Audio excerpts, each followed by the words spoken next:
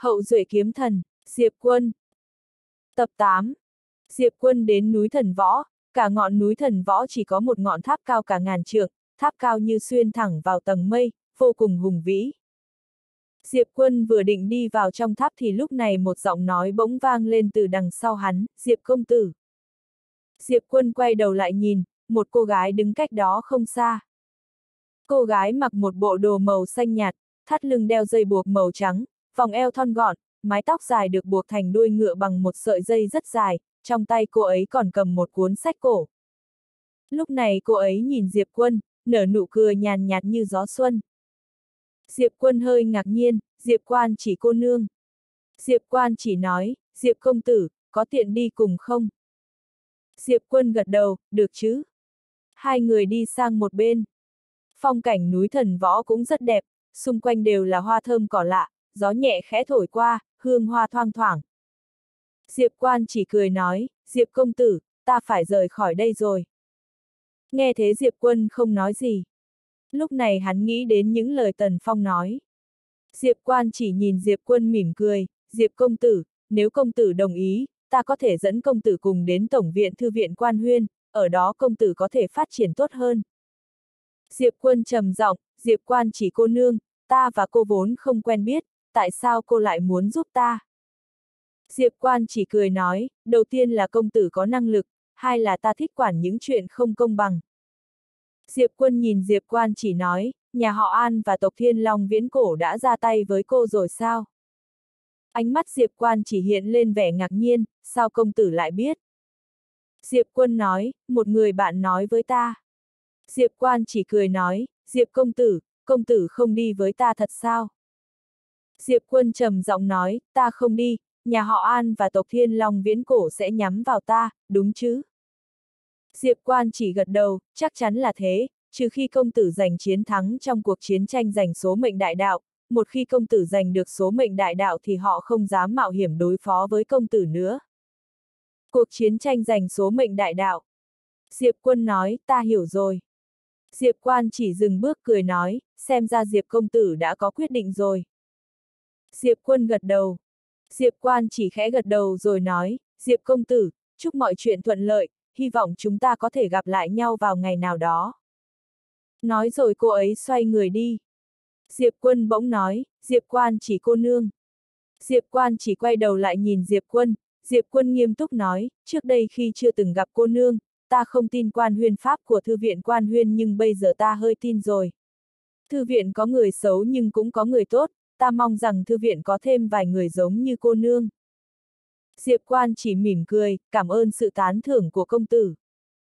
Cô ấy ngừng lại rồi lại nói, Diệp công tử, trước khi đi, ta muốn rèn luyện với công tử một chút, không biết công tử có đồng ý không? Rèn luyện. Diệp quân nói, được chứ? Diệp quan chỉ cười nói, xuất kiếm đi. Diệp quân ngạc nhiên, ở đây sao? Diệp quan chỉ gật đầu, ở đây. Cô ấy ngừng một chốc rồi nói, tung ra một kiếm mạnh nhất của công tử đi. Diệp quân nhìn Diệp quan chỉ, ta sợ giết cô mất. Diệp quan chỉ nhếch môi, không sao, ta có thần công bảo vệ, không chết được. Diệp quân im lặng một lúc rồi nói, cô nương cẩn thận. Nói rồi một thanh kiếm bỗng bay ra từ trong người hắn. Đánh ra một kiếm. Tốc độ của đòn tấn công này nhanh như chớp, trong tích tắc đã bay đến trước mặt Diệp quan chỉ. Diệp quân có tự tin có thể giết được người trong một nhát kiếm này. Thế nhưng ngay sau đó hắn sững sờ. Vì nhát kiếm khủng khiếp của hắn lại bị hai ngón tay kẹp chặt lấy. Ngón tay của Diệp quan chỉ. Diệp quan chỉ nhìn cảnh tượng trước mặt, vẻ mặt đầy khó tin. Diệp quan chỉ bỗng buông kiếm ra nói, Diệp công tử, tốc độ của thanh kiếm này vượt ba cấp sẽ là bất khả chiến bại nhưng có một thiếu sót chí mạng. Diệp quân nói, xin cô nương chỉ giáo. Diệp quan chỉ nói, lãnh vực. Diệp quân nhíu mày, lãnh vực. Diệp quan chỉ gật đầu, lãnh vực, công tử nhìn không gian trước mặt ta đi, ta vẽ đất thành vực, khi kiếm của công tử bay vào trong lãnh vực của ta, lãnh vực của ta sẽ kìm hãm lại tốc độ của công tử. Nói cách khác không gian lãnh vực của ta tương đương với trọng lực không gian gấp 50 lần đang kìm hãm kiếm của công tử. Mà khuyết điểm của công tử chính là kiếm thiếu khả năng phá vỡ lãnh vực, còn nằm trong quy tắc không gian, chỉ khi phá vỡ quy tắc không gian thì tốc độ của công tử mới có thể đạt được cực hạn về mặt ý nghĩa thật sự. Quy tắc không gian. Diệp quân trầm giọng nói, không gian có quy tắc à? Diệp quan chỉ cười nói, có chứ, sở dĩ kiếm của công tử có thể nhanh như thế là vì công tử đã thấu hiểu được quy luật không gian, nhưng nhìn thấu cũng vẫn nằm trong quy tắc không gian. Nếu công tử muốn nhanh hơn nữa thì chỉ có phá vỡ quy tắc không gian, theo cách nói của vũ trụ quan huyên là phá quy tắc, nếu công tử có thể làm được thì dù là cường giả cảnh giới đại kiếp cũng không thể ngăn được tốc độ của thanh kiếm này. Phá quy tắc. Diệp quân im lặng không nói. Diệp quan chỉ chớp mắt cười nói, thật ra cũng rất đơn giản, tức là nhảy ra khỏi không gian, sau đó phá nó thôi. Nhảy ra ngoài không gian. Diệp quân bỗng xòe bàn tay ra, khí kiếm xuất hiện trong bàn tay hắn, hắn bỗng đâm ra một nhát kiếm, không gian bỗng bị phá vỡ. Không đúng. Diệp quân thu kiếm lại, sau đó lại đâm một nhát kiếm ra. Vừa làm thế, không gian lập tức gợn sóng như sóng nước, nhát kiếm này đã dung hợp với không gian. Thế nhưng vẫn không đúng. Diệp quân thu kiếm lại, tiếp đó lại xuất kiếm ra. Vừa đâm nhát kiếm này thì đã không thấy kiếm nữa. Thấy thế Diệp quan chỉ sửng sốt như thể mình nhìn lầm, cô ấy xoa mắt, khi vẫn không nhìn thấy thanh kiếm đó, cô ấy mới chắc chắn. Thanh kiếm này đã đi ra ngoài không gian. Phá quy tắc rồi. Diệp quan chỉ nhìn Diệp quân, im lặng rồi nói, Diệp công tử, công tử lợi hại như thế, người nhà của công tử có biết không? Diệp quân cười nói, quan chỉ cô nương, đây có được xem là ra khỏi không gian, phá vỡ quy tắc không? Diệp quan chỉ gật đầu, được. Diệp quân mừng rỡ. Thật ra trước đây khi hắn tu luyện ở tiên bảo các, hắn cứ cảm thấy mình đã đạt đến cực hạn, tốc độ cực hạn. Nhưng lúc đó hắn cũng không biết nên tiếp tục thăng cấp thế nào. Những lời Diệp Quan chỉ nói có thể là những lời đánh thức người trong mộng. Có thể nói sở dĩ hắn có thể ngộ ra ngay lập tức như thế nguyên nhân chủ yếu là vì trước đây hắn đã tu luyện đến cực hạn của bản thân, thứ hắn thiếu là một thời cơ, mà Diệp Quan chỉ đã cho hắn thời cơ này. Diệp Quân chắp tay lại với Diệp Quan chỉ cảm ơn. Diệp Quan chỉ cười nói, Diệp công tử, đây là công sức của bản thân công tử, ta không dám nhận. Diệp Quân mỉm cười, nếu không có cô chỉ ra điểm thiếu sót thì ta không biết còn phải mất bao lâu nữa mới ngộ ra được. Diệp Quan chỉ cười nói, Diệp công tử, công tử là một người tài giỏi, mong rằng công tử có thể đến vũ trụ quan huyên, có duyên sẽ gặp. Diệp Quân chắp tay lại, có duyên sẽ gặp. Diệp Quan chỉ gật đầu rồi xoay người đi. Diệp Quân nhìn theo Diệp Quan chỉ ở đằng xa khẽ nói, tháp ra, thực lực của quan chỉ cô nương mạnh quá. Tiểu tháp nói, thiên phú này quả thật rất mạnh. Diệp quân bỗng nói, tháp ra, có phải tài năng của kiếm chủ nhân gian cũng khủng khiếp lắm không? Kiểu trước đây không có ai bằng, sau này cũng thế. Tiểu tháp im lặng một lúc rồi nói, chưa chắc. Diệp quân nhíu mày, chưa chắc ư. Tiểu tháp nói, ừ. Diệp quân hỏi tò mò, ông ấy là kiếm chủ nhân gian, nếu ông ấy không có tài năng nghịch thiên thì sao có thể tu luyện đến mức mạnh như thế? Tiểu tháp nói, người hiểu lầm ý ta rồi. Diệp quân khó hiểu, có ý gì?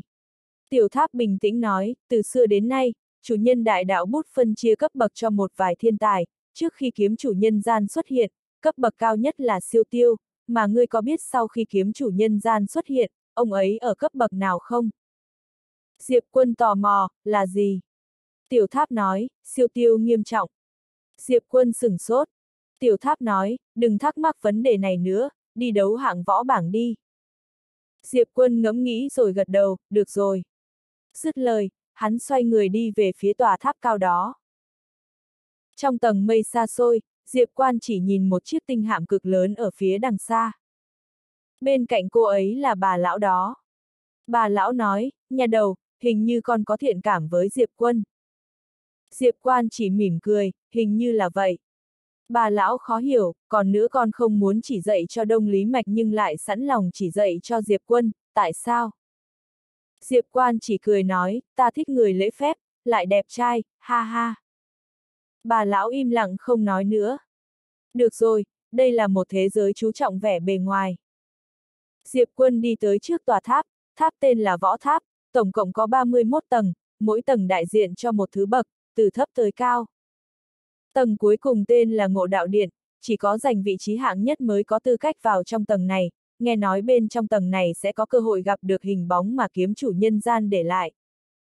Diệp quân vừa bước tới trước cửa tháp, một ông lão xuất hiện ngay trước mặt hắn, trong tay ông lão đang cầm một cái đầu thuốc, mái tóc màu trắng, thoạt nhìn trông hơi u ám. Ông lão nhìn Diệp quân, tầng số mấy. Diệp quân nghĩ ngợi, sau đó nói, 10. Ông lão híp hai mắt lại, chắc chứ. Diệp quân gật đầu. Ông lão nhìn Diệp quân một hồi, sau đó nói, một vạn kim tinh. Diệp quân chớp mắt, đắt vậy sao? Mặc dù bây giờ hắn có chút tiền, nhưng hắn cảm thấy vẫn nên ăn tiêu tiết kiệm thì hơn. Ông lão bình tĩnh nói, chủ yếu là sợ người rảnh rỗi tới quấy rối. Diệp quân nghĩ ngợi, sau đó lấy ra một vạn kim tinh đưa cho ông lão. Sau khi ông lão nhận số kim tinh thì nói, họ tên. Họ tên. Diệp quân nghĩ ngợi, sau đó nói, Dương quân. Tiểu tháp.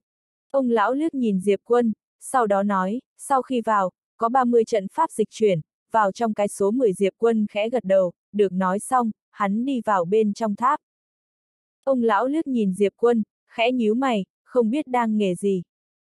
Trên đường, tiểu tháp đột nhiên nói, tại sao ngươi lại phải đổi thành Dương quân? Diệp quân nói, Tần Huynh không phải từng nói rồi sao? Bảo ta phải kín tiếng nhất có thể, dành lấy chút thời gian trưởng thành cho bản thân. Tiểu tháp nói, ta hiểu, ý của ta là tại sao lại phải dùng họ Dương. Diệp quân cười nói, họ thật của kiếm chủ nhân gian không phải là họ Dương đó sao? Vậy nên ta mới chọn họ này. Tiểu tháp trầm mặc. Diệp quân hỏi, tháp ra, có vấn đề gì sao? Tiểu tháp nói, không có vấn đề. Đi khiêu chiến thôi. Diệp quân gật đầu, được. Bên trong tiểu tháp, tiểu tháp nhỏ giọng nói, mẹ kiếp, là trùng hợp sao? Nếu như là vậy thì cũng quá trùng hợp rồi nhỉ. Giọng nói bí ẩn vang lên, ta cảm thấy không phải việc xấu gì, nếu hắn giống cha, hơi tí là có mấy ý định kiểu như giết cha thì mới là đáng sợ thực sự. Tiểu tháp Sau khi Diệp Quân bước vào trong trận pháp dịch chuyển thì tới luôn tầng số 10. Hắn ngồi khoanh chân trên mặt đất. Chờ đợi. Những thiên tài đã được xếp theo thứ bậc này được gọi là người canh tháp, dựa theo quy định, khi có người khiêu chiến thì người canh tháp buộc phải xuất hiện trong vòng một canh giờ, nếu không thì sẽ bị xem như là bỏ quyền. Chẳng mấy chốc, một chàng trai xuất hiện phía trước mặt Diệp Quân không xa. Chàng trai mặc một bộ cẩm bào, tay cầm một thanh giáo dài, khóe miệng nở cười nhạt, y quan sát Diệp Quân, cười nói, đã rất lâu rồi không có ai tới khiêu chiến với ta. Diệp Quân bình tĩnh nói, có thể bắt đầu được chưa? Chàng trai gật đầu, vào khoảnh khắc mà ta xuất hiện thì đã có thể bắt đầu được rồi. Diệp quân đột nhiên biến mất khỏi vị trí. Nhát kiếm này nhanh như điện giật. Khoảng cách 10 trượng được rút ngắn chỉ trong nháy mắt. Đôi đồng tử của chàng trai đột nhiên co lại, vào khoảnh khắc y nhìn thấy nhát kiếm này, trong đầu vừa có ý định phản kháng thì lưỡi kiếm đã kề sát ngay vị trí yết hầu của y. Cả gương mặt của chàng trai ngập tràn vẻ không thể tin nổi. Diệp quân bình tĩnh nói, ngươi thua rồi. Nói xong, hắn quay người bước về phía tầng bên trên. Audio điện tử võ tấn bền. Đợi đã. Đúng vào lúc này, chàng trai đột nhiên lên tiếng. Diệp quân khẽ cau mày, hắn quay người nhìn về phía chàng trai, chàng trai do dự một hồi, sau đó cười nói, vị huynh đài, nói chuyện chút đã. Diệp quân lắc đầu, không nói. Nói xong, hắn bước về phía tầng số 9. Chàng trai vội vàng nói, 10 vạn, ta cho huynh 10 vạn kim tinh, nói chuyện đúng 15 phút. Diệp quân dừng bước, hắn quay người nhìn chàng trai, không hiểu, vì sao. Chàng trai mỉm cười, sau đó nói, huynh đừng hỏi nhiều như vậy, nói chuyện một lát, 10 vạn kim tinh, thế nào? Diệp quân gật đầu. Chàng trai cười khổ, bất lực, chỉ có thể nói, vị huynh đài à, nếu như bây giờ huynh ra ngoài thì không phải ta sẽ mất hết mặt mũi sao? Nếu để cho người ta biết chưa tới 15 phút y đã không chống đỡ nổi và bị đánh bại thì danh tiếng cả đời này của y sẽ sụp đổ. Diệp quân nghĩ ngợi, sau đó nói, 20 vạn kim tinh. Chốt đơn. Chàng trai lập tức lên tiếng, sau đó y vội vàng lấy ra một chiếc nhẫn không gian đưa ra trước mặt Diệp quân. Diệp quân trầm mặc, có phải hắn ra giá ít quá rồi không? Sau khi nhận lấy nhẫn không gian, Diệp quân ngồi khoanh chân trên mặt đất, lên tiếng, nói đi, người muốn nói chuyện gì? Nếu như ngươi đã bằng lòng tiêu tiền, vậy thì ta chắc chắn cũng sẽ bằng lòng nói chuyện cùng với ngươi, nói mỗi ngày cũng được. Chàng trai cười nói, nên xưng hô với huynh đài thế nào đây? Diệp quân nói, Dương quân. Chàng trai nhếch miệng cười, Dương huynh, ta tên là Vân Trần. Diệp quân khẽ gật đầu, Vân huynh, hân hạnh được gặp. Vân Trần chớp chớp mắt, huynh là kiếm tu à? Diệp quân gật đầu, phải. Vân Trần trầm giọng nói, kiếm của huynh nhanh thật, trước giờ ta chưa từng được thấy nhát kiếm nào nhanh tới vậy. Diệp quân nói, huynh cũng rất mạnh. Vân Trần trầm mặc, nếu như không biết nói mấy lời nịnh hót thì có thể đừng nói. Diệp quân do dự một lát, sau đó nói, Vân huynh, ta có một chuyện rất hiếu kỳ. Vân Trần cười nói, mời nói. Diệp quân nghiêm túc nói, top 10 mỗi tháng thật sự sẽ có 50 vạn kim tinh sao? Vân Trần gật đầu, có. Nhưng có một điều kiện, buộc phải canh giữ được một tháng. Diệp quân khẽ gật đầu, ta hiểu rồi. Vân Trần liếc nhìn Diệp quân, Dương Huynh, Huynh tới đấu hạng là vì tiền sao? Diệp quân hỏi ngược lại, mấy người tới đấu hạng không phải vì tiền à? Vân Trần trầm mặc, y coi như đã hiểu ra rồi tên trước mắt mình rất nghèo. Lúc này, Diệp quân đột nhiên đứng dậy, hắn nói, Vân Trần Huynh, hết giờ rồi. Huynh có tiêu tiền tiếp không? Nếu như không bỏ tiền ra tiếp thì ta sẽ không nói chuyện với Huynh nữa Vân Trần ngơ ngác. Diệp quân liếc nhìn Vân Trần, chờ đợi câu trả lời. Vân Trần trầm giọng nói, Dương Huynh, không nói nữa. Mặc dù y có chút tiền, nhưng cũng không thể tiêu hoang phí như vậy. Diệp quân chắp tay, vậy thì Vân Huynh, hẹn gặp lại. Nói xong, hắn quay người đi về phía tầng số 9. Vân Trần đứng tại chỗ nhìn theo bóng lưng của Diệp Quân, Cao mày, đây rốt cuộc là thần thánh phương nào. Diệp Quân đột nhiên dừng bước, sau đó nói, Vân Huynh, chỉ cần người canh tháp xuất hiện là trận đấu bắt đầu rồi phải không? Vân Trần gật đầu, đúng thế. Khiêu chiến ở nơi này là khiêu chiến không có quy tắc, có thể sử dụng bất cứ thủ đoạn nào, chỉ cần đối phương xuất hiện thì trận đấu cũng coi như bắt đầu. Diệp quân khẽ gật đầu, đa tạ. Nói xong, hắn đi lên cầu thang, sau khi đi qua một cánh cửa ánh sáng thì đã tới được tầng số 9. Diệp quân ngồi khoanh chân trên mặt đất, chờ đợi. Lúc này, không gian phía trước mặt hắn đột nhiên rung chuyển, ngay sau đó, một cô gái mặc đồ xanh đột nhiên xuất hiện, đúng vào lúc này, Diệp quân biến mất khỏi vị trí cũ. Xuất kiếm. Nhát kiếm này thật sự quá nhanh. Cô gái mặc đồ xanh đó vừa mới xuất hiện, kiếm đã kể ngay giữa hai hàng chân mày của cô ta. Cô gái mặc đồ xanh ngẩn ngơ. Diệp quân nhìn cô gái mặc đồ xanh, cô nương, cô thua rồi. Cô gái mặc đồ xanh nổi giận, nói ta vừa mới xuất hiện ngươi đã ra tay, ngươi có võ đức hay không hả? Diệp quân nghĩ ngợi, sau đó nói, Vân Trần huynh tầng bên dưới nói với ta, chỉ cần đối phương xuất hiện là ta có thể ra tay rồi. Con mẹ hắn! Cô gái mặc đồ xanh đột nhiên mắng chửi, tên khốn nạn Vân Trần này, ban đầu nên đánh cho hắn tàn phế luôn mới phải. Diệp quân nghiêm túc nói, ta đi đây. Nói xong, hắn quay người đi về phía tầng số 8. Nhưng hắn đi rất chậm. Hắn cũng hy vọng đối phương có thể nói chuyện với hắn. Đúng vào lúc này, cô gái mặc đồ xanh đột nhiên nói, đợi đã. Diệp quân vội vàng quay người lại, sau đó nói, cô nương, cô nói đi. Cô gái mặc đồ xanh bình tĩnh nói, ngươi là kiếm tu à? Cô gái này muốn câu giờ. Diệp quân do dự một lát, sau đó nhắc nhở cô nương, ta rất bận, ta phải đi khiêu chiến, nếu như cô không có việc gì khác thì ta xin phép cáo từ. Nói xong, hắn chắp tay rồi quay người đi về phía tầng trên.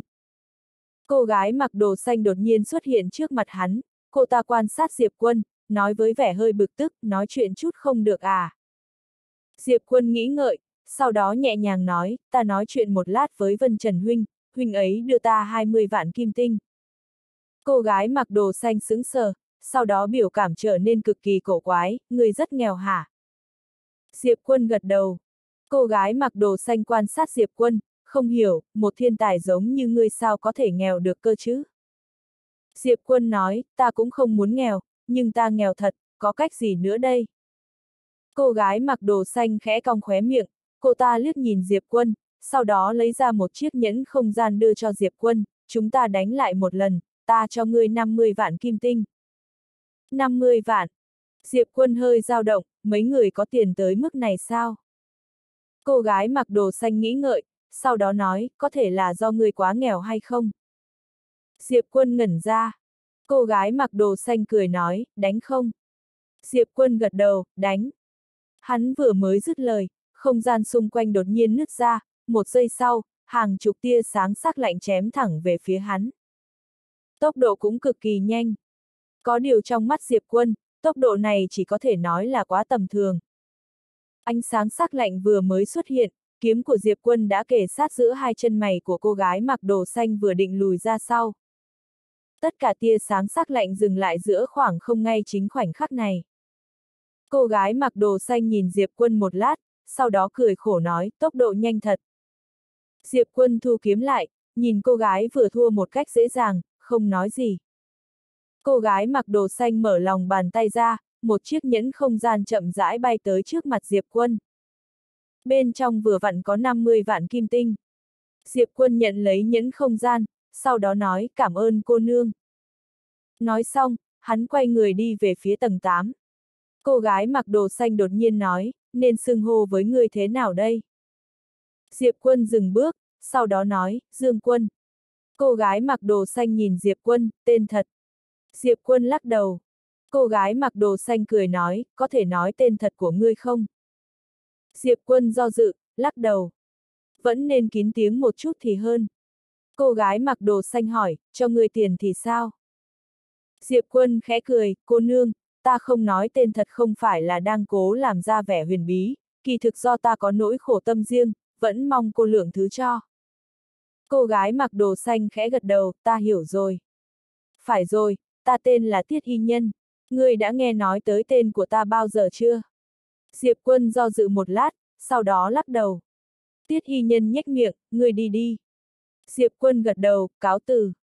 Nói xong, hắn đi thẳng lên tầng trên. Tiết Hy Nhân nhìn Diệp quân rời đi, nhỏ giọng nói. Trung thổ thần châu lại xuất hiện một kiếm tu trẻ tuổi như vậy. Nói xong, dường như cô ta nghĩ tới điều gì đó, hơi bực tức nói, thật đúng là, nói chuyện với tiết y nhân ta mà còn thu tiền, lẽ nào ta không đủ xinh đẹp sao? Đúng là một gã đàn ông khô khan. Nói xong, cô ta phẫn nộ quay người rời đi. Diệp quân tới tầng số 8. Hắn ngồi khoanh chân trên mặt đất, đợi người.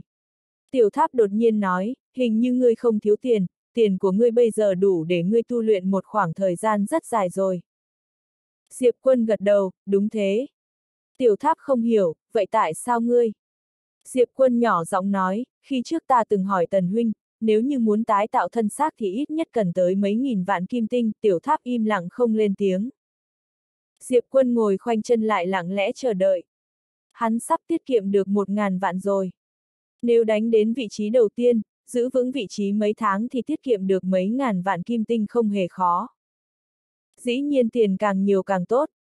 Đúng lúc này, không gian trước mặt hắn bỗng rung chuyển, thấy thế Diệp Quân lập tức đứng bật dậy, ngay sau đó cả người hắn biến thành một tàn ảnh rồi biến mất. Vèo! Một tia kiếm quang lướt qua. Chàng trai xuất hiện lúc nãy nhìn thấy thế, sắc mặt thay đổi, mẹ kiếp. Âm! Um. Cùng với âm thanh cực lớn vang lên, một luồng sáng màu vàng bỗng phát ra từ giữa chán chàng trai, chàng trai văng ra xa mười mấy trượng. Diệp quân không ra tay tiếp, hắn nhìn khí kiếm trong tay phải, đầu mũi khí kiếm bỗng gãy lìa. Thấy thế Diệp quân lại nhìn vị trí chàng trai đứng lúc này, nơi đó có một đống mảnh vỡ màu vàng. Là áo giáp. Hơn nữa còn là áo giáp cấp tiên. Diệp quân không nói gì.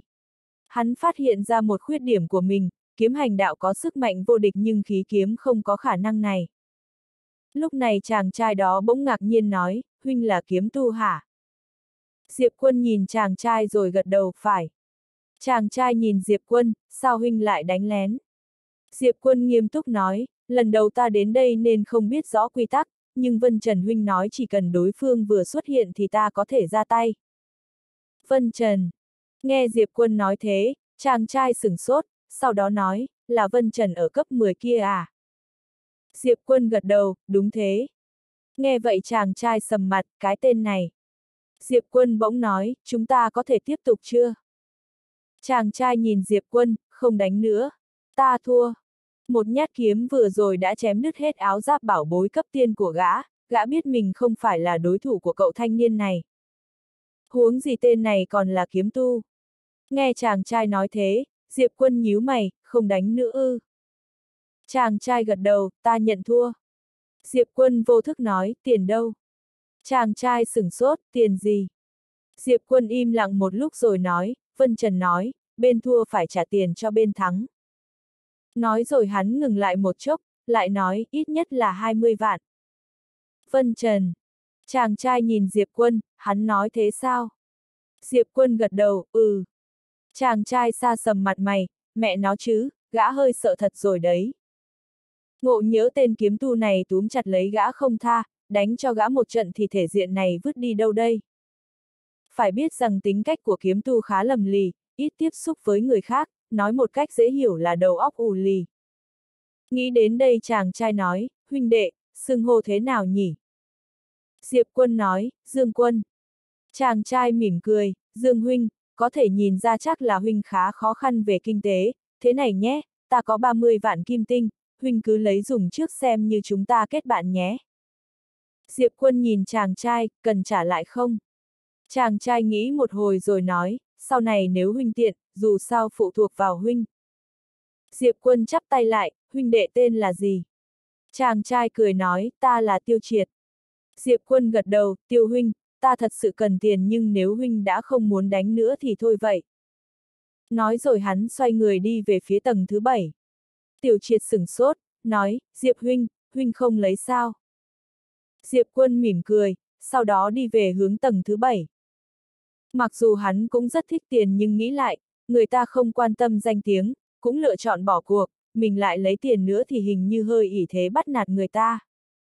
Đi ra ngoài vẫn lên kết giao nhiều mối quan hệ, ít làm chuyện xấu thì hơn. Thấy Diệp Quân đi rồi, tiêu triệt sửng sốt, sau đó lắc đầu cười, kiếm tu này, làm người thành thật, thú vị đấy. Như nghĩ đến điều gì, gã lắc đầu thở dài, hơi tiếc nuối nói, tiếc là nếu hắn có thể lấy được tiền của ta, không chừng có thể kết được một mối thiện duyên. 2. Tầng thứ 7. Diệp Quân đến tầng thứ 7, sau đó ngồi khoanh chân lại, hắn xòe bàn tay ra, một khí kiếm xuất hiện trong tay hắn. Nhìn khí kiếm trong tay, hắn rơi vào trầm tư. Thiếu sót của khí kiếm vẫn rất lớn, dù sao cũng là kiếm được tạo nên từ huyền khí ngưng tụ, không thể so được với một vài vũ khí sắc bén.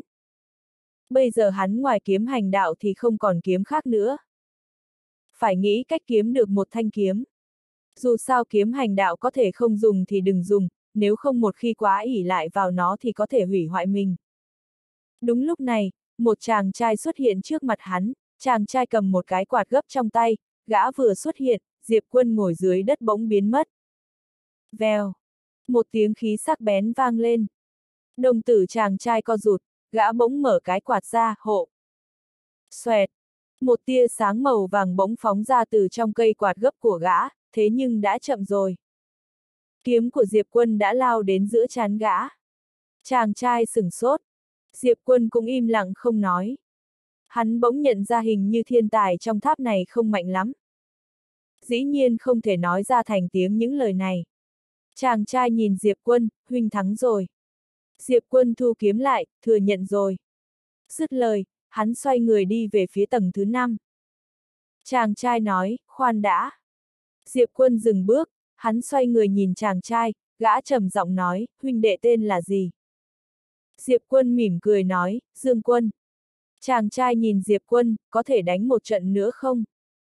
Lúc nãy Diệp Quân bỗng ra tay khiến gã không kịp phòng bị nên không phục lắm. Diệp Quân ngẫm nghĩ, sau đó nói, Vân Trần Huynh nói, nếu muốn đánh lại thì phải đưa cho đối phương 30 vạn kim tinh. Vân Trần. Chàng trai cũng rất quyết chí, mở lòng bàn tay ra, một chiếc nhẫn bay đến trước mặt Diệp Quân. Diệp Quân nhìn một cái, vừa đúng có 30 vạn kim tinh, hắn nhận lấy rồi nói, có thể bắt đầu rồi chứ. Chàng trai nhìn Diệp Quân, bắt đầu.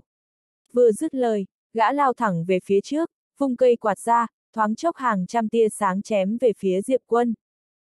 Ngay lúc tia sáng xuất hiện, từng tiếng thời không bị xé toạc bỗng vang lên, vô cùng đáng sợ.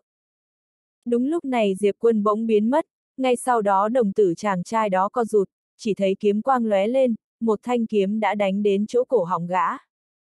Cảm giác nghiền ép. Diệp Quân nhìn chàng trai, không nói gì. Hắn không những có tốc độ kiếm nhanh, mà tốc độ của bản thân hắn cũng nhanh. Nếu sử dụng thuật ngự kiếm thì có thể nhanh hơn. Chàng trai nhìn Diệp Quân, dùng mấy phần sức. Diệp Quân không đáp lời.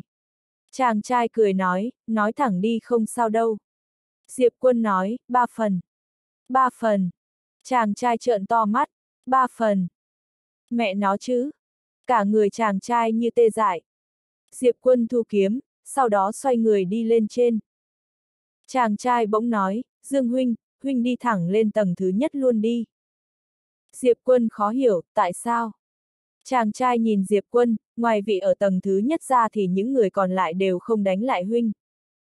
Diệp Quân suy nghĩ rồi nói, không sao, không lâu nữa là có thể đến tầng thứ nhất rồi. Nói rồi hắn đi lên phía trên. Chàng trai. Tầng thứ năm. Diệp Quân vừa bước vào tầng thứ năm thì thấy một chàng trai hơi mập đứng trước mặt hắn không xa, hai tay gã mập đó giấu trong cái túi rộng lớn, nở nụ cười xấu xa. Diệp Quân nhìn gã không nói gì. Hình như đối phương đang đợi mình. Lúc này gã mập bỗng nhìn phía sau Diệp Quân, kinh ngạc nói, ôi đệch. Thế nhưng Diệp Quân không quay đầu lại, ngược lại là xông thẳng đến chỗ gã mập như một hồn ma, một tia sáng đánh tới. Đồng tử gã co rụt, gã bỗng phát ra một tia hỏa quang đáng sợ từ trong cơ thể. Dầm! Diệp quân híp mắt lại, không có cố chấp đối đầu lại mà xoẹt về phía sau tránh được hỏa quang này, lúc này dưới chân gã mập bỗng có một vòng xoáy, sau đó bay về phía sau nhưng ngay sau đó một tia kiếm quang lướt qua. Vèo! Âm thanh xé tan không khí vang lên, một thanh kiếm đánh đến giữa chán gã mập. Vẻ mặt gã mập cứng đờ. Diệp quân nhìn gã cảm ơn đã nhường. Nói rồi hắn thu kiếm lại, xoay người bỏ đi. Gã mập bỗng nói, khoan đã. Diệp quân nhìn gã, gã mập trầm giọng nói, ta không phục, đánh lại lần nữa. Diệp quân nhìn cách ăn mặc của gã rồi nói, Vân Trần Huynh nói, nếu đánh lại lần nữa thì phải đưa ta 50 vạn kim tinh. Gã mập nhíu mày, là Vân Trần ở tầng thứ 10 kia sao? Diệp quân gật đầu. Gã mập nói, hắn nói bậy. Diệp quân vẫn bình tĩnh không nói gì. Gã mập nhìn Diệp quân, sau đó mở bàn tay ra, một chiếc nhẫn bay đến trước mặt Diệp quân. Diệp quân nhận lấy, vừa định lên tiếng thì ngay sau đó gã mập vung tay phải lên, một mảnh cho trắng vào tới chỗ hắn. Vôi! Diệp quân sững sờ, ngay sau đó hắn lùi về sau kéo giãn khoảng cách nhưng kiếm của hắn lại bay về phía trước.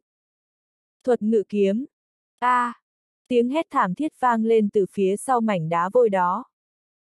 Diệp quân phất tay áo, một sóng khí lập tức cuốn khối đá vôi bay đi, sau lớp đá vôi, cánh tay phải của gã mập bị một thanh khí kiếm quấn chặt. Diệp quân nhìn gã mập, xòe bàn tay ra, khí kiếm bay vào trong tay hắn, sau đó xoay người đi. Gã mập nói, ta không phục, ta vẫn chưa dùng đến con át chủ bài, ta vẫn muốn đánh. Diệp quân nhíu mày, lúc này một chiếc nhẫn bỗng bay đến trước mặt hắn, trong chiếc nhẫn là 50 vạn kim tinh. Diệp quân cất chiếc nhẫn đi, sau đó nói, hình như huynh rất giàu. Gã mập nhìn Diệp quân, ta là thần Pháp Sư, huynh nghĩ sao? Diệp quân hơi khó hiểu, thần Pháp Sư có nhiều tiền lắm sao? Gã mập nói, nhảm nhí, bọn ta có thể luyện bừa ra một lá bùa đều có thể bán được với giá rất cao, hiểu chưa? Diệp quân không nói gì. Vậy sao sư tỷ lại nghèo như thế chứ? Gã mập nhìn Diệp quân, huynh có thể để ta tung cho xong con át chủ bài không? Gã biết nếu Diệp quân không đợi gã thì gã không thể ra tay được. Kiếm của người này quá nhanh. Diệp quân lắc đầu, không thể. Gã mập tức giận, huynh không để ta tung ra con át chủ bài trước thì sao ta đánh với huynh được. Diệp quân nói, cũng không phải không được, chẳng hạn. Gã mập hỏi, chẳng hạn cái gì? Diệp quân nghiêm túc nói, chẳng hạn như huynh có thể hối lộ ta. Vẻ mặt gã mập cứng đờ. Mẹ kiếp! Gã mập nhìn Diệp quân, huynh rất nghèo à?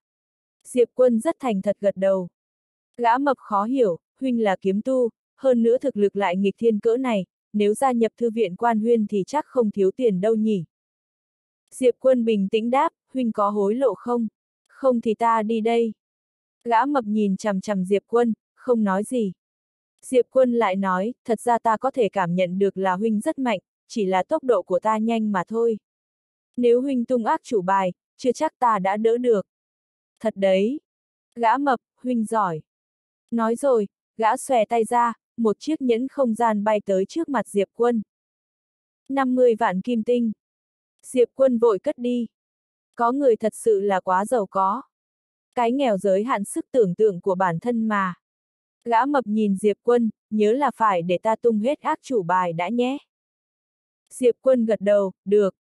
Gã mập bỗng chậm rãi bay lên, hai tay gã mở ra, sau đó niệm thần chú gì đó mà Diệp Quân không hiểu nổi, bỗng nhiên. Tách! Một đạo sấm chớp xuất hiện. Diệp Quân ngẩng người. Lúc này, lại có thêm một đạo sấm chớp nữa xuất hiện. Chẳng bao lâu đã có mấy chục đạo sấm chớp trong phòng. Vẻ mặt Diệp Quân chợt trở nên nghiêm trọng, hắn cảm nhận được một chút nguy hiểm. Gã mập này có chút bản lĩnh đấy. Đúng lúc này, người gã mập bỗng rung lên, thì toàn thân rung lắc kịch liệt. Diệp Quân chỉ thấy gã hợp hai tay thành hình chữ thập, sau đó run giọng nói, sức mạnh lôi thần. Đánh chết tên khốn này đi. Diệp Quân. Gã mập vừa dứt lời, mấy chục đạo sấm chớp mang theo uy lực khủng bố bỗng đánh về phía Diệp Quân. Tốc độ cực khủng khiếp. Còn nhanh hơn tốc độ nhát kiếm vừa nãy của Diệp Quân nhiều. Diệp Quân nheo mắt, biến mất tại chỗ. Hắn không ra tay mà lại chạy trốn. Cảnh tượng kỳ lạ xảy ra. Diệp Quân chạy phía trước, sấm chớp đuổi theo sau, đúng là suốt dọc đường sấm chớp lập lòe. Thấy cảnh này, gã mập tỏ vẻ không thể tin nổi, há hốc mồm. Tốc độ của tên này còn nhanh hơn cả sấm chớp sao? Đúng lúc này, Diệp Quân bỗng xuất hiện trước mặt gã, sau đó, một thanh kiếm chĩa ngay giữa hai hàng lông mày của gã. Gã mập vội nói, dừng. Dứt lời, sấm chớp xung quanh bỗng dừng lại sau lưng Diệp Quân. Gã mập nhìn Diệp Quân không chớp mắt, ta thua rồi. Diệp Quân cất kiếm nói, đã nhường rồi. Nói rồi hắn quay người rời đi. Gã mập bỗng hỏi, kiếm tu, huynh tên gì? Diệp Quân dừng bước, Dương Quân. Gã mập nhìn Diệp Quân, ta chưa từng nghe qua tên này, huynh dùng tên giả à? Diệp Quân gật đầu. Gã mập, tên thật là gì? Diệp Quân lắc đầu, không tiện tiết lộ. Gã mập suy nghĩ rồi nói, ta tên hứa khâm, huynh biết ta không? Diệp Quân lắc đầu, không biết. Hứa khâm cười nói, vậy kết bạn được không? Diệp Quân gật đầu, được. Hứa khâm bật cười, kiếm tu các huynh đều cứng nhắc vậy ha. Diệp Quân khẽ cười, cũng không hẳn, chỉ là ta đang hơi bận, hứa huynh, sau này gặp lại. Nói rồi hắn quay người đi lên tầng trên. Hứa khâm nhìn bóng lưng Diệp Quân, khẽ nói, nghe đồn thiên tài Diệp Quân đã giết chết thiếu tộc trưởng tộc chân Long chính là một vị kiếm tu. Tầng thứ tư. Diệp Quân ngồi xếp bằng trên sàn, hắn phát hiện thật ra gã mập vừa rồi vẫn khá mạnh. Nếu tốc độ của hắn không đủ nhanh, thì với năng lực hiện tại của hắn chưa chắc đã đỡ được sấm sét của đối phương. Lúc này, một chàng trai bỗng xuất hiện trước mặt Diệp Quân. Chàng trai mặc một bộ áo bảo đen, ánh mắt lạnh lùng, vẻ mặt kiêu ngạo. Diệp Quân đứng dậy, chàng trai kia nhìn Diệp Quân từ trên xuống dưới một lượt, sau đó khẽ nhíu mày, ngươi là ai? Diệp Quân đáp, Dương Quân. Chàng trai lắc đầu, chưa từng nghe đến. Diệp Quân bỗng biến mất, đồng tử chàng trai kia rút lại, tay phải gã siết thành quyền, nhưng quyền vừa mới siết lại thì một thanh kiếm đã chĩa vào giữa ấn đường gã. Chàng trai nhìn chằm chằm Diệp Quân, Diệp Quân nói, huynh thua rồi. Nói xong anh thu kiếm lại, quay người rời đi. Ánh mắt chàng trai hung dữ, người đánh lén. Nói rồi gã đánh một quyền về phía sau ót của Diệp Quân. ầm, um, một tiếng nổ vang lên. Đây là chiêu đoạt mạng, rõ ràng gã muốn đánh chết Diệp Quân bằng một quyền này. Cảm nhận được sức mạnh khủng khiếp sau lưng, Diệp Quân bỗng quay người rồi lắc một cái, tránh được đòn này. Một giây sau, Diệp Quân đã xuất hiện sau lưng gã trai kia, đồng thời kê kiếm ngay trước cổ gã. Sắc mặt gã trai trắng bệch, đang định nói gì đó thì Diệp Quân đột nhiên kéo kiếm. Phượt! Đầu gã trai bay ra ngoài. Máu tươi phun trào. Diệp Quân cất nhẫn không gian của gã trai vào rồi quay người rời đi. Đầu của gã trai trợn tròn mắt trên đất, ánh mắt không thể tin được. Lúc này, tiểu tháp bỗng hỏi, sao bỗng dưng lại ra tay giết người? Diệp quân thản nhiên đáp, ta tha cho hắn một mạng nhưng hắn lại lấy oán báo ơn, đánh lén ta, muốn giết ta. Người kính ta một trượng thì ta kính người một trượng, nếu người không kính ta, sao ta phải kính người? Tiểu tháp im lặng. Diệp quân tới tầng thứ ba. Trong tầng thứ ba, Diệp quân ngồi xếp bằng rồi lấy nhẫn không gian ra xem, chính là nhẫn không gian của người ở tầng thứ tư. Trong nhẫn không gian lại có đến hơn 200 vạn kim tinh. 200 vạn. Cộng với số trước đây hắn có thì bây giờ hắn đã có 1.200 vạn kim tinh. Đối với hắn đây thật sự là một khoảng cách xù. Nhưng vẫn chưa đủ. Đúng lúc này, một chàng trai bỗng xuất hiện trước mặt Diệp Quân. Diệp Quân đang định ra tay thì chàng trai nói, đợi đã. Diệp Quân nhìn chàng trai, y mặc một bộ đồ trắng, vẻ mặt hơi đề phòng. Chàng trai trầm giọng nói, huynh chính là kiếm tu đã một mạch đi hết bảy tầng kia đấy à? Diệp Quân hơi sững sờ, sau đó hỏi, huynh biết ta à? Chàng trai cười nói, vừa nãy có người thông báo cho ta biết. Nói kiếm của huynh cực nhanh, bảo ta phải cẩn thận. Diệp quân im lặng. Chàng trai cười nói, kiếm tu ở Trung Thổ Thần Châu rất hiếm, lần đầu ta gặp kiếm tu mạnh như huynh đấy. Tuy ta biết có lẽ mình không phải là đối thủ của huynh nhưng vẫn muốn xem thử kiếm của huynh nhanh đến đâu.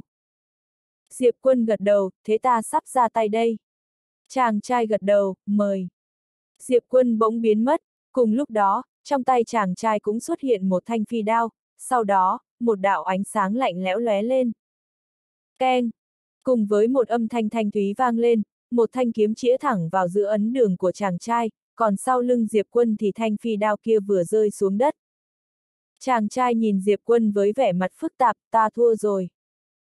Nhát kiếm vừa nãy của Diệp Quân đã đánh rơi phi đao của y, nhát kiếm thứ hai đã chĩa ngay giữa chán y rồi. Tốc độ hơn hẳn y. Diệp Quân cất kiếm nói, đã nhường rồi. Nói xong hắn quay người rời đi. Chàng trai bỗng hỏi, mạo muội hỏi một câu, huynh làm cách nào để luyện được tốc độ thế này? Diệp quân đáp, trọng lực thời không. Chàng trai hơi sửng sốt, sau đó hỏi, huynh đến tầng mấy rồi?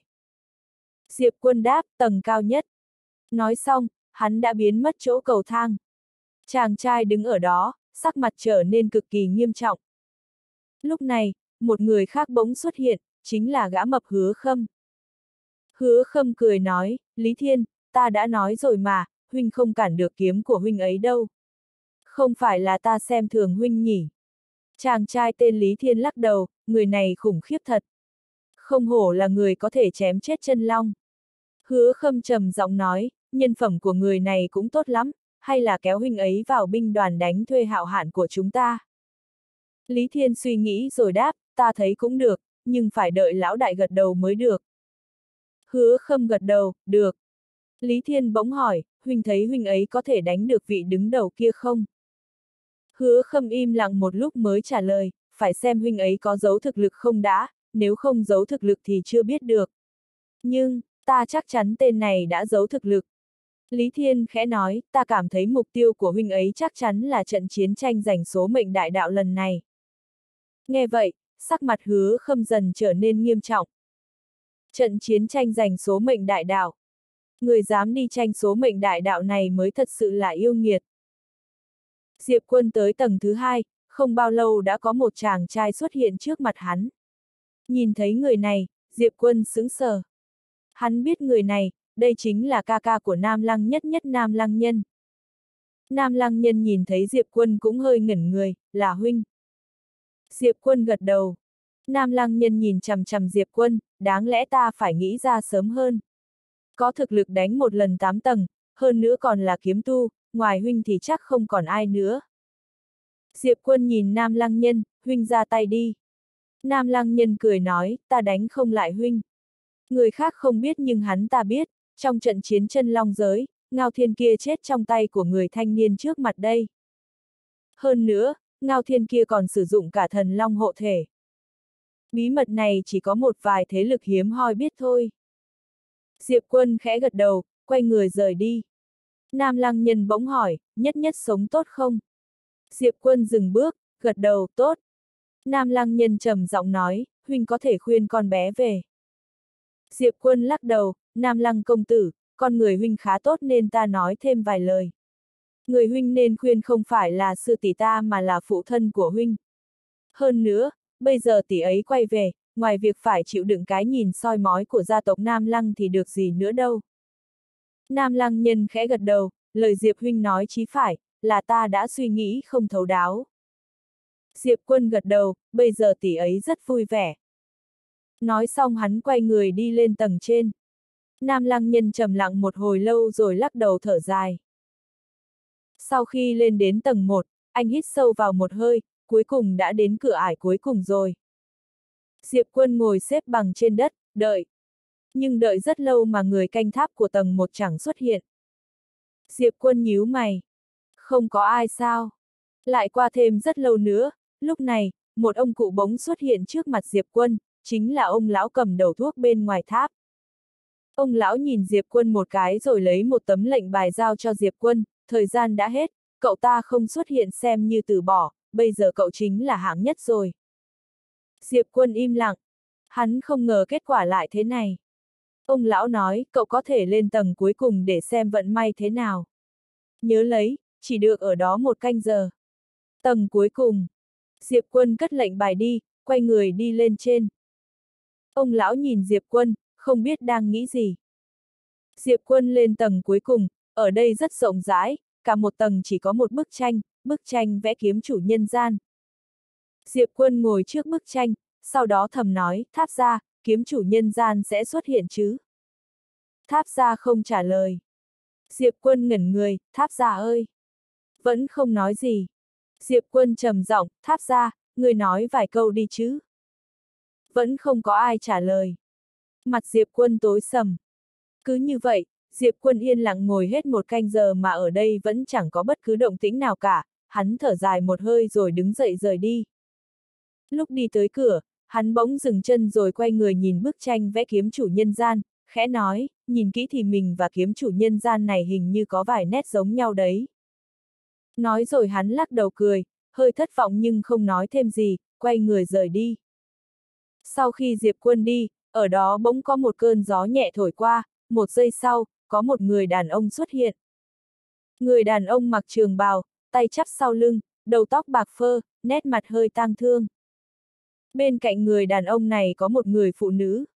Người phụ nữ kéo tay người đàn ông, nước mắt trực rơi xuống, thằng bé. Rất yêu tú.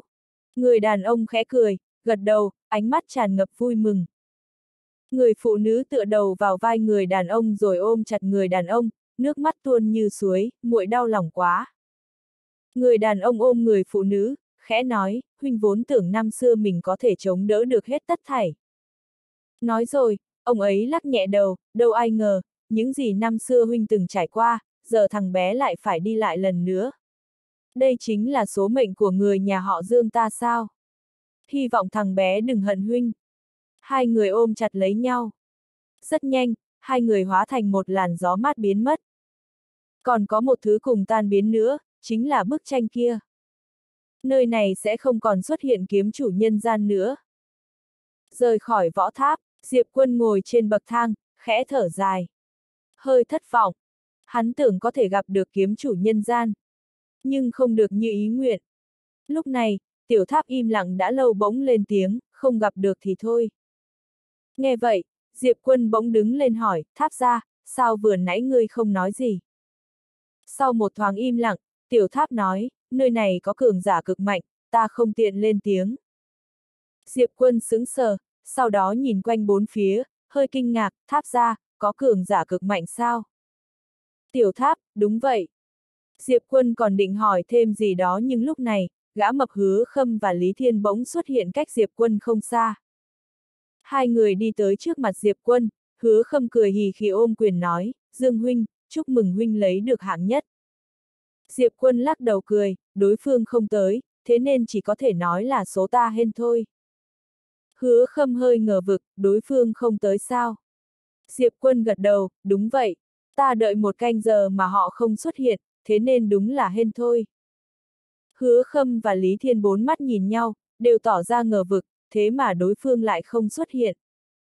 Lúc này, Lý Thiên bỗng cười nói, Dương Huynh, lần này bọn ta tới tìm Huynh là để mời Huynh gia nhập binh đoàn đánh thuê hạo hạn của bọn ta. Nghe vậy, Diệp Quân chợt thấy hơi ngạc nhiên, binh đoàn đánh thuê hạo hạn sao? Lý Thiên thấy hình như Diệp Quân không hiểu lắm về binh đoàn đánh thuê nên giải thích đúng vậy. Trung thổ thần châu có đến vài vạn binh đoàn đánh thuê, còn binh đoàn đánh thuê hạo hạn của bọn ta xếp thứ hai, thực lực vô cùng vô cùng mạnh đấy nhé. Diệp Quân suy nghĩ rồi hỏi, có lợi ích gì không? Nghe hỏi, vẻ mặt của hai người đều cứng đờ, nhưng chẳng mấy chốc đã bật cười thật to.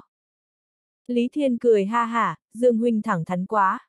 Có lợi ích chứ, ví như chúng ta có thể cùng nhận những nhiệm vụ có thưởng. Diệp Quân hơi tò mò, nhiệm vụ có thưởng. Lý Thiên gật đầu, tiếp tục giải thích, ở công hội lính đánh thuê có nhiều loại nhiệm vụ có thưởng lắm, tiền thưởng cực cao. Diệp Quân vội hỏi, cao bao nhiêu? Lý Thiên nhìn chằm chằm Diệp Quân, nhiệm vụ có thưởng cao cấp nhất là 3.000 vạn kim tinh. 3.000 vạn. Diệp Quân nghe vậy thì thấy sao động, lập tức vỗ đùi, nhận ngay. Lý Thiên liếc hắn một cái, nhận cái đầu huynh, huynh có biết nội dung nhiệm vụ là gì không? Diệp Quân cười hờ, ta hơi quá khích rồi. Lý Thiên cười nói, nhiệm vụ này là tới tội uyên để bắt yêu nghiệt đứng đầu trung thổ thần châu cũ tịch huyền. Nghe thế, Diệp Quân bỗng đơ người ra. Tịch huyền. Đương nhiên hắn biết người này. Lúc ở hạ giới, khi hắn và tiêu qua cùng phá được ải, tốc độ của bọn họ khi ấy vẫn chưa phải là nhanh nhất, người nhanh nhất chính là vị tịch huyền này. Lý Thiên gật đầu, người này không chỉ là yêu nghiệt đứng đầu trung thổ thần châu mà còn là chủ tịch cũ của Thư viện Quan Huyên, cũng là một trong hai tuyệt đại mỹ nữ của trung thổ thần châu. Vốn cô ta có tương lai rộng mở nhưng không biết vì lý do gì, năm xưa đã tự tay giết chính sư phụ của mình ngay tại Thư viện Quan Huyên, không những thế còn giết rất nhiều trưởng lão và cường giả của Thư viện Quan Huyên, từ đó cô ta bị Thư viện truy nã. Diệp quân nhíu mày, cô ta phản bội Thư viện Quan Huyên sao? Lý Thiên khẽ gật đầu, đúng vậy. Diệp quân thấy khó hiểu, trong Thư viện Quan Huyên không có ai là đối thủ của cô ta à? Lý Thiên lắc đầu, cô ta không chỉ giết sư phụ mình mà còn giết mấy chục trưởng lão nữa. Cực kỳ biến thái. Diệp quân hỏi, người của Tổng viện đâu? Lý Thiên trầm giọng nói, năm đó Tổng viện cũng đã phái người tới nhưng cô ta đã vào tội uyên rồi. Nơi đó vô cùng phức tạp, người của Tổng viện vào đó cũng không tìm được cô ta, cuối cùng phải tay không trở về. Hơn nữa việc này có điểm kỳ lạ, bởi vì cuối cùng không biết tại sao Tổng viện lại không quản chuyện này nữa, hình như còn cố ý ém chuyện này xuống. Sau đó thì thư viện ở Trung Thổ Thần Châu phát lệnh truy nã. Tịch huyền. Diệp quân trầm tư, xem ra chuyện này có điểm kỳ lạ. Đúng lúc này, Lý Thiên cười nói, Dương Huynh, Huynh có hứng gia nhập binh đoàn đánh thuê hạo hạn của bọn ta không? Lần này bọn ta nhận một nhiệm vụ, truy sát một con yêu thú cấp đế, chỉ cần giết được nó thì yêu tộc không chỉ trả một nghìn vạn kim tinh mà còn cho thêm 20 viên nội đan yêu thú cấp thiên nữa. Một nghìn vạn. Diệp quân chợt thấy động lòng. Lại còn có 20 viên nội đàn yêu thú cấp thiên. Diệp quân lập tức đồng ý, được. Lý Thiên rất vui mừng, y vội lấy ra một huy hiệu đưa cho Diệp quân, Dương Huynh, bắt đầu từ bây giờ Huynh đã là thành viên của binh đoàn đánh thuê hạo hạn rồi. Huynh là người thứ tư, thế nên bọn ta sẽ gọi Huynh là tứ đệ nhé. Tứ đệ. Diệp quân lắc đầu cười. Gã mập hứa khâm cũng vui ghê lắm, cười tới nỗi thịt toàn thân lắc lư. Lý Thiên bỗng nói, bây giờ lên đường luôn. Nói xong, y lấy ra một quyển trục rồi bóp nát, chớp mắt ba người đã biến mất. Ba người biến mất không lâu thì bỗng có một người đàn ông trung niên xuất hiện. Người đàn ông trung niên mặc một bộ trường bào sạch sẽ, tóc bên tai có vài cọng bạc, bên cạnh ông ta là ông lão canh tháp cầm đầu thuốc kia. Người đàn ông trung niên khẽ nói, chẳng trách Diệp chủ tịch lại xem trọng người này đến vậy. Một mạch phá 10 tầng, đúng là yêu nghiệt. Ông lão canh tháp gật đầu, kiếm của người này nhanh không gì bì kịp, đấu vượt hai cấp E là cũng không phải chuyện khó. Hơn nữa, cậu ấy vẫn luôn chưa dùng hết toàn lực. Người đàn ông trung niên nói, hai viện trưởng cũ của Trung Thổ Thần Châu đều là đồ ngốc. Viện trưởng kia thì để mất đi tịch huyền một cách đau đớn, viện trưởng này thì lại để mất đi cậu Diệp quân này, đúng là ngu xuẩn.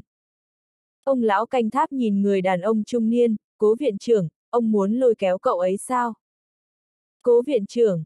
Người này chính là viện trưởng mới của Thư viện Quan Huyên Trung Thổ Thần Châu Cố Triều Nguyên. Cố Triều Nguyên lắc đầu cười, ta lôi kéo làm cái gì, ông có biết vì sao Diệp Chủ tịch lại bị điều đi, rồi sao Tổng viện lại điều ta đến đây không? Ông lão lắc đầu. Cố Triều Nguyên khẽ nói, vì ta là người đại diện cho thế gia. Ông lão ngẩn người. Cố Triều Nguyên cười nói, có phải trước khi Diệp Chủ tịch rời đi đã từng gặp vị Diệp quân công tử này không? Ông lão gật đầu, đúng vậy. Cố Triều Nguyên lắc đầu, cô ấy đang cảnh cáo ta, nếu ta dám giúp nhà họ An và tộc Thiên Long Thượng Cổ đối phó với Diệp quân này thì cô ấy sẽ không tha cho ta. Ông lão thở dài. Thư viện đã bắt đầu nội đấu rồi. Cố Triều Nguyên khẽ nói, lần này tuy Diệp chủ tịch bị bên thế gia chèn ép nhưng ta cũng không thể đắc tội với cô ấy được. Thế nên ta đến đây, không cầu có công, chỉ cầu không có tội thôi. Chỉ một câu, giả ngu giả ngơ, không đắc tội với ai cả thì sẽ an toàn. Ông lão trầm giọng nói, vậy cuộc chiến tranh số mệnh đại đạo lần này, thư viện chúng ta. Cố Triều Nguyên nhún vai, tranh với giành cái gì? Thiên tài với yêu nghiệt đều bị hai viện trưởng cũ đắc tội hết rồi. Bây giờ để lại cho ta một đống hỗn độn, lấy gì mà tranh? Ông lão im lặng. Cố Triều Nguyên thở dài, vốn dĩ diệp quân này là một sự lựa chọn cực tốt, nhưng... Nói thật, tuy ta đại diện cho thế gia nhưng ta phải công nhận lần này nhà họ An làm việc quá kém sang. Vốn là tỉ thí công bằng, thua thì phải nhận. Thế mà còn làm ra cái trò mèo này, làm mất mặt mũi của các tiền bối nhà họ An quá. Nói rồi ông ta lắc đầu, còn cả tộc chân long, đúng là một đám ngu dốt. Dù có muốn bợ đỡ nhà họ An thì cũng không đến mức phải lấy mạng ra nịnh nọt chứ. Su nịnh, su nịnh tới cuối cùng chẳng còn gì cả. Nói xong, ông ta quay người rời đi. Mấy canh giờ sau, Diệp Quân, Hứa Khâm và Lý Thiên đã đến một vùng đất hoang vắng. Ở đây, hắn lại gặp một người nữa, là một cô gái. Cô gái cao giáo, mặc một bộ váy dài ôm sát người, bên eo có hai thanh đoạn đao, trên cổ cô ấy có một vết sẹo. Ánh mắt cô ấy hơi sắc bén, sắc như dao vậy. Gặp cô gái, hứa khâm bỗng chạy tới, nhếch miệng cười, tứ đệ, lại đây, ta giới thiệu nhé, đây là binh đoàn trưởng của chúng ta, cũng chính là đại tỷ. Gọi đại tỷ đi. Diệp quân nhìn cô gái một cái, rồi ôm quyền chào, chào cô nương. Cô nương. Hứa khâm ngẩn người, vội nói, gọi đại tỷ. Cô gái nhìn chằm chằm Diệp Quân không nói gì. Diệp Quân suy nghĩ rồi nói, cô ấy, trẻ quá, gọi đại tỷ không hay lắm. Sắc mặt hứa khâm bỗng thay đổi, lúc này cô gái bỗng cười, trẻ à. Diệp Quân gật đầu, thành thật đáp, trẻ lắm. Cô gái nhoẻn miệng cười, dẻo miệng thật. Hứa khâm sững sờ nhìn Diệp Quân. Mẹ kiếp! Hóa ra là đệ đang nịnh đầm à. Cô gái bỗng hỏi, đệ là kiếm tu à? Diệp quân gật đầu. Cô gái khẽ gật đầu, nếu đệ đã gia nhập binh đoàn đánh thuê của bọn ta thì đã là người mình rồi. Nói rồi cô ấy lấy một chiếc nhẫn không gian ra đưa cho Diệp quân. Trong nhẫn có hai viên nội đàn yêu thú cấp thiên. Diệp quân khó hiểu, đây là gì? Cô gái cười nói, xem như là quà gặp mặt. Ôi đệch! Hứa khâm đứng bên cạnh nhảy cẫng lên, đại tỷ, sao lúc trước bọn đệ không có quà gặp mặt? Tỷ không công bằng gì cả. Đại tỷ thản nhiên nói, người ta không những đẹp trai mà còn biết cách nói chuyện, còn đệ thì sao? Hứa khâm xa sầm mặt, trông mặt mà bắt hình rong không tốt đâu nhé. Đại tỷ cười, đệ giảm cân đi thì còn thuốc chữa. Hứa khâm. Lúc này, Lý Thiên đứng bên cười nói, chúng ta đi thôi. Đại tỷ khẽ gật đầu, đi theo ta. Nói rồi cô ấy quay người đi về phía xa. Diệp quân cất nhẫn không gian đi, sau đó đi theo. Trên đường, hắn có nhìn về phía xa, cách chỗ mình 100 trượng có một trận pháp dịch chuyển. Diệp quân tò mò, chúng ta sắp đi đâu? Đại tỷ cười đáp, tội uyên. Tội uyên.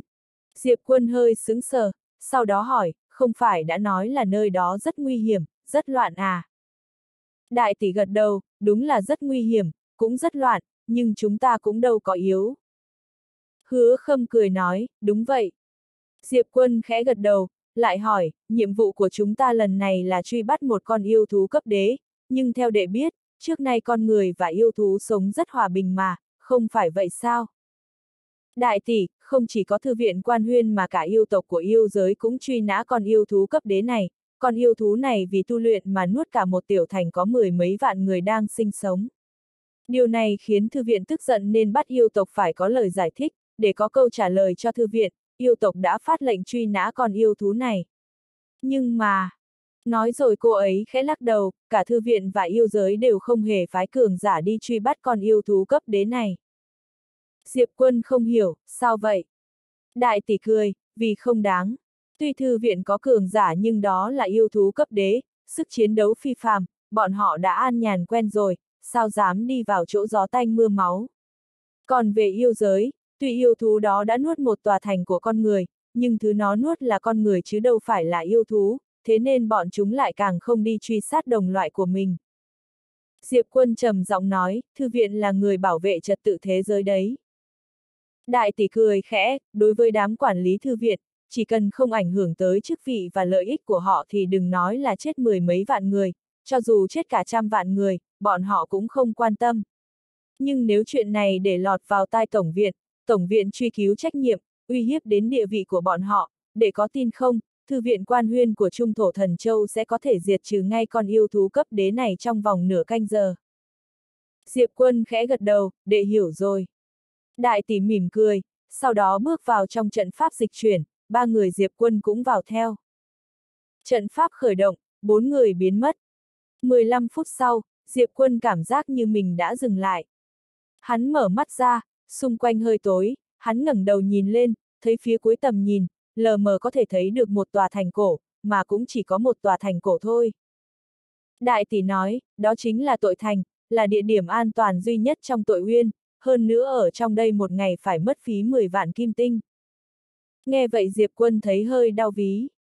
Khiếp thật, cách kiếm tiền của người ở tầng lớp trên quá khủng bố. Đại tỷ nhìn quanh bốn phía, khẽ hỏi, người đâu? Lúc này, một chàng trai bỗng từ phía xa lướt tới, tốc độ rất nhanh, chớp mắt đã tới trước mặt bốn người. Chàng trai nhìn đại tỷ, đi thôi. Nói xong gã quay người lướt về phía xa. Bốn người đại tỷ lập tức đi theo. Trên đường đi, đại tỷ nói, đây là người dẫn đường, hắn biết tung tích của con yêu thú cấp đế kia. Diệp quân khẽ gật đầu. Chẳng mấy chốc, chàng trai kia đã dẫn bốn người tới một ngọn núi lớn, sau khi xuyên qua một mảnh rừng rậm, chàng trai bỗng dừng lại, gã chỉ vào sơn cốc xa xa con yêu thú đó ở trong kia. Trước đây bị thương nặng, bây giờ đang dưỡng thương. Đại tỷ nhìn chàng trai, sau khi ta xác nhận sẽ trả tiền cho ngươi. Chàng trai nhíu mày, bây giờ cô phải trả ta luôn. Đại tỷ bình tĩnh nói, nếu nó không có ở trong đó, chẳng phải ta mất tiền à. Chàng trai còn chưa nói gì, Diệp Quân đã kéo đại tỷ ra sau lưng, một giây sau, một thanh kiếm đã chĩa thẳng lên giữa chán gã, người dám lừa bọn ta. Chàng trai bất giác nói, sao người biết? Nói đến đó, sắc mặt gã bỗng cao có, vội dừng lại. Ba người đại tỷ đứng bên thì sắc mặt xa sầm. Đây là một cái bẫy. Diệp quân nhìn chằm chằm chàng trai, ta chỉ thử mà thôi. Bị vạch trần, chàng trai cũng không tức giận, gã bỗng bật cười, người rất thông minh, nhưng giây phút ngươi đặt chân vào đây đã định trước là ngươi phải chết. Ngươi biết ta là ai không? Ta là... Diệp quân thẳng tay đâm kiếm. Bụp! Đầu của chàng trai bị kiếm đâm xuyên, máu chảy như suối. Diệp quân bình tĩnh nói, ta không có nhu cầu biết ngươi là ai. Nói rồi hắn lấy nhẫn không gian của chàng trai, sau đó nhìn ba người còn lại, rút. Nói rồi bốn người quay lưng chạy. Diệp quân cũng thấy cạn lời, đến lúc này rồi, mẹ nó chứ, ta cần biết ngươi là ai làm gì. Chàng trai ngã uỳnh xuống đất, vẻ mặt không thể tin nổi. Ngươi để ta nói hết câu được không? Bốn người biết đã bị gài bẫy. Nên nhanh chóng chạy ra ngoài. Nhưng đúng lúc này, một luồng khí tức bỗng bao trùm lấy bốn người, cùng với sự xuất hiện của luồng khí tức mạnh mẽ này, mặt đất ở đây bỗng nhiên vặn vẹo, vô cùng kỳ lạ. Diệp quân hơi nheo mắt, quay đầu nhìn, mấy chục trượng về phía bên phải, ở đó có một bóng đen. Đại tỷ nhìn bóng đen kia nói, cảnh giới địa pháp. Cảnh giới địa pháp. Nghe vậy hứa khâm và Lý Thiên đều cau mày. Ai đã bày ra cái bẫy này? Lúc này, khí tức của bóng đen kia bỗng khóa chặt Diệp Quân, ngươi nên để hắn nói hết câu. Vì như vậy thì ngươi sẽ chết nhẹ nhàng hơn chút. Phụt. Bóng đen còn chưa nói hết câu, một tiếng nổ đã chợt vang lên. Một giây sau, một thanh kiếm đâm xuyên vào giữa chán bóng đen. Còn Diệp Quân, không biết từ lúc nào đã xuất hiện trước mặt bóng đen đó. Ba người đại tỷ kinh ngạc. Diệp Quân nhìn chằm chằm người đàn ông, khẽ nhíu mày, cảnh giới địa pháp yếu đến vậy à? Ba người đại tỷ. Người đàn ông khó tin nhìn chằm chằm Diệp Quân, kiếm nhanh quá. Diệp Quân hơi trầm ngâm, sau đó nói, ta mới dùng ba phần sức. Hắn dừng lại chút rồi mới nói, ta không ngờ cảnh giới địa pháp lại yếu thế này. Vẻ mặt người đàn ông cứng nhắc, còn định nói gì đó nhưng Diệp Quân đã chém thêm một nhát. Vù! Đầu của người đàn ông bay vút ra ngoài. Diệp Quân thu nhẫn không gian của người đàn ông lại, sau đó nói với ba người đại tỷ đi thôi. Đợi chút. Đại tỷ bỗng xông tới trước mặt Diệp Quân, cô ấy lấy được một tấm lệnh bài từ thi thể, lúc nhìn thấy tấm lệnh bài này, sắc mặt cô ấy trở nên khó coi. Diệp Quân nhìn tấm lệnh bài kia, sửng sốt. Trên lệnh bài có hai chữ Quan Huyên. Đây là người của thư viện Quan Huyên. Lúc hứa khâm và Lý Thiên nhìn thấy tấm lệnh bài thì sắc mặt cũng u ám hẳn. Lý Thiên nhìn đầu của người đàn ông kia, ta biết gã này, hắn là cháu trai của lục trưởng lão của thư viện. Diệp quân nhìn Lý Thiên, lục trưởng lão. Lý Thiên gật đầu, lục trưởng lão của hội trưởng lão. Nắm thực quyền đấy. Diệp quân trầm giọng, trôn đi. Ba người nhìn Diệp quân, vẻ mặt kinh ngạc. Diệp quân bình tĩnh nói, không thì làm thế nào. Ba người nhìn nhau, sau đó gật đầu. Ngay lúc này, tiếng bước chân bỗng truyền đến từ bên cạnh, sau đó là tiếng cười, hay, hay lắm. Giết người diệt khẩu, hay thật. Bốn người quay đầu nhìn, gần đó có một chàng trai đang đứng, chàng trai mặc một bộ cẩm bào, trông tuấn tú lịch sự, nhưng nụ cười trên mặt lại khá nham hiểm. Nhìn thấy chàng trai này, sắc mặt đại tỷ không tốt cho lắm. Hứa khâm trầm giọng nói, Trương Tiến. Diệp quân nhìn hứa khâm, có chỗ trống lưng à. Hứa khâm gật đầu, người của thư viện quan huyên, cháu trai của đại trưởng lão trương luật trong hội trưởng lão. Nói rồi, gã dừng lại một lát mới nói tiếp, đại trưởng lão là người có quyền thế nhất trong hội trưởng lão, trong thư viện quan huyên, thực lực chỉ thua viện trưởng. Diệp quân rơi vào trầm tư, hắn đang thầm cân đo đong đếm. Lúc này, đại tỷ nhìn Trương Tiến, khẽ cười, không ngờ đường đường là cháu trai của đại trưởng lão mà lại tới đây làm mấy chuyện hèn hạ này. Sao cô ấy không nhận ra cái bẫy này là do Trương Tiến này bày bố cơ chứ? Cách nào kiếm tiền nhanh nhất? Đương nhiên là giết người cướp của rồi. Trương Tiến nhìn đại tỷ, khẽ cười, cô đừng có vụ oan cho ta. Ta chỉ nhìn thấy các ngươi giết cháu trai của lục trưởng lão, không chỉ thế, còn định chôn hắn nữa. Nói rồi, gã chỉ thi thể phía xa, chật chật, các ngươi xem, chứng cứ còn đây này. Vẻ mặt đại tỷ u ám vô cùng. Trương Tiến cười nói, các ngươi thấy thư viện sẽ tin các ngươi hay là sẽ tin ta? Ta thấy. Đúng lúc này, kiếm quang lóe sáng. Nhìn thấy đạo kiếm quang này, Trương Tiến hoảng hốt. Vù. Trương Tiến muốn chạy nhưng kiếm của Diệp Quân đã đâm xuyên ấn đường của gã, máu tươi chậm chậm phun ra. Lúc này, Diệp Quân đã xuất hiện trước mặt Trương Tiến, hắn lấy một tấm truyền âm phù và nhẫn không gian từ trong tay của Trương Tiến, sau đó nhìn đại tỷ chôn cùng luôn đi. Ba người đại tỷ thì ngây ra như phỗng. Trương Tiến vẫn chưa chết hẳn, nhìn Diệp Quân chằm chằm, căm hận, ngươi dám giết ta. Ngươi lại dám giết ta. Ngươi không biết ông nội ta là đại trưởng lão sao? Diệp Quân gật đầu, ta biết. Vừa nãy Lý Thiên Huynh đã nói cho ta biết rồi. Trương Tiến gào lên, thế mà ngươi vẫn dám giết ta.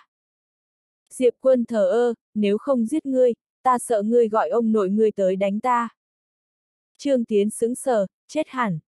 Lúc này, ba người đại tỷ đứng bên đi tới, Lý Thiên nhìn thi thể của Trương Tiến, do dự một lát rồi nói, Dương Huynh, Huynh gây họa lớn rồi.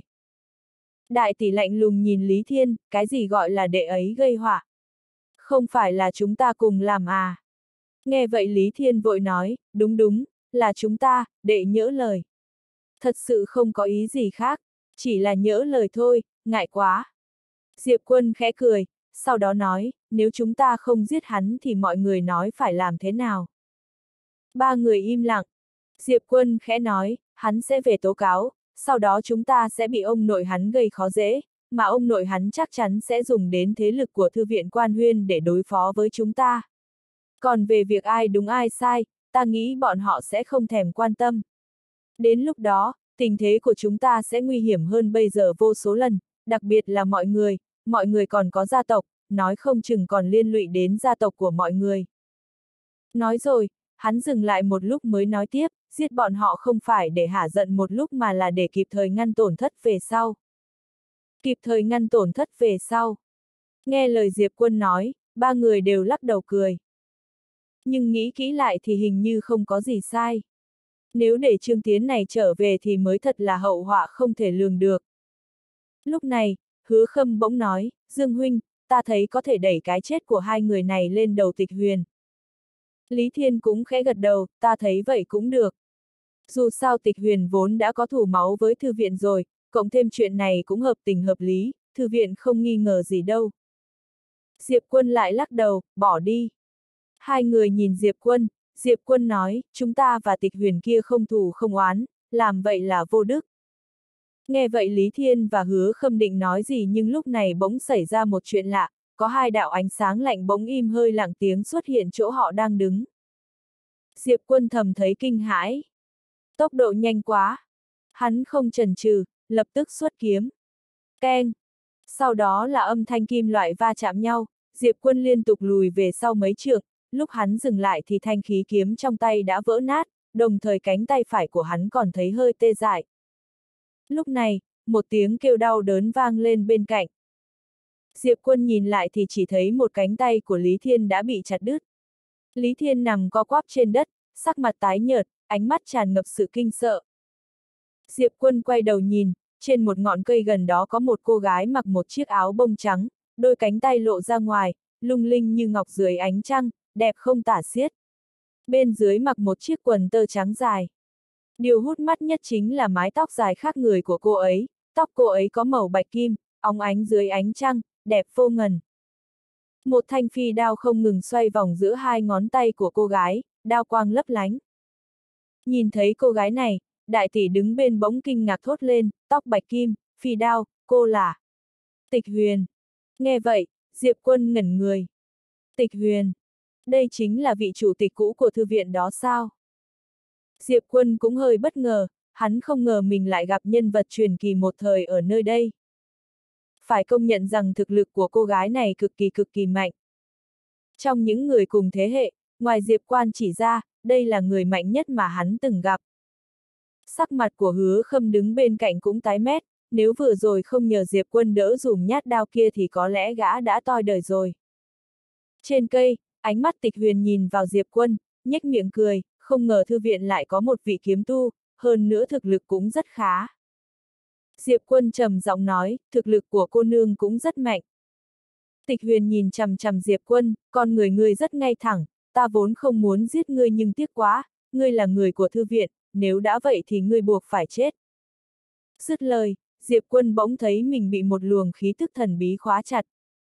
Hắn biết đây là khí tức của tịch huyền, nhưng luồng khí tức này rất quái dị, dường như từ bốn phương tám hướng ép tới khiến hắn không thể nào men theo khí tức để tìm ngọn nguồn được.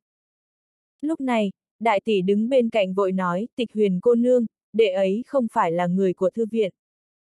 Nghe vậy, tịch huyền hơi sững sờ, sau đó nhìn Diệp Quân, hắn không phải là người của thư viện sao? Đại tỷ gật đầu, vội giải thích, đúng vậy. Đệ ấy giống với cô, vốn là người của thư viện, là người giành hạng nhất trong cuộc tỷ võ dưới hạ giới, nhưng vì nhà họ An và tộc chân Long đã can thiệp vào cuộc tỷ võ, thư viện khoanh tay đứng nhìn nên đệ ấy không gia nhập vào thư viện quan huyên nữa. Nghe thế, Diệp Quân nhìn đại tỷ, kinh ngạc, đại tỷ, tỷ biết đệ là ai sao? Đại tỷ liếc hắn một cái, đại ca ơi, đệ nghĩ bọn ta ngốc cả à? Đệ là kiếm tu, lại còn mạnh đến thế.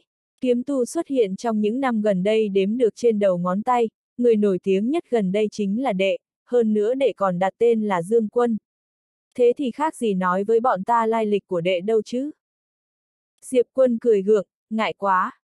Tịch huyền nhìn chằm chằm Diệp Quân, cười nói, thú vị đấy, thư viện lại bỏ lỡ một thiên tài như ngươi. Diệp Quân trầm giọng nói, tịch huyền cô nương, bọn ta không có ác ý gì với cô, vừa nãy bạn ta mạo phạm cô. Tịch huyền bỗng nhảy xuống khỏi ngọn cây, cô ấy cười nói, đỡ một đao của ta thì chuyện của bạn ngươi xem như bỏ qua. Diệp quân gật đầu, được. Hứa khâm đứng bên cạnh run giọng nói, Diệp huynh. Lý Thiên cũng vội nói, Diệp huynh, không được đâu. Diệp quân nhìn Lý Thiên, thế ta đi nhé. Lý Thiên cứng họng. Diệp quân khẽ cười, không sao đâu. Lý Thiên cười khổ, Diệp huynh. Diệp quân quay người nhìn tịch huyền, cô nương, ra tay đi. Tịch huyền nhoẻn môi nở nụ cười, người phải cẩn thận đấy.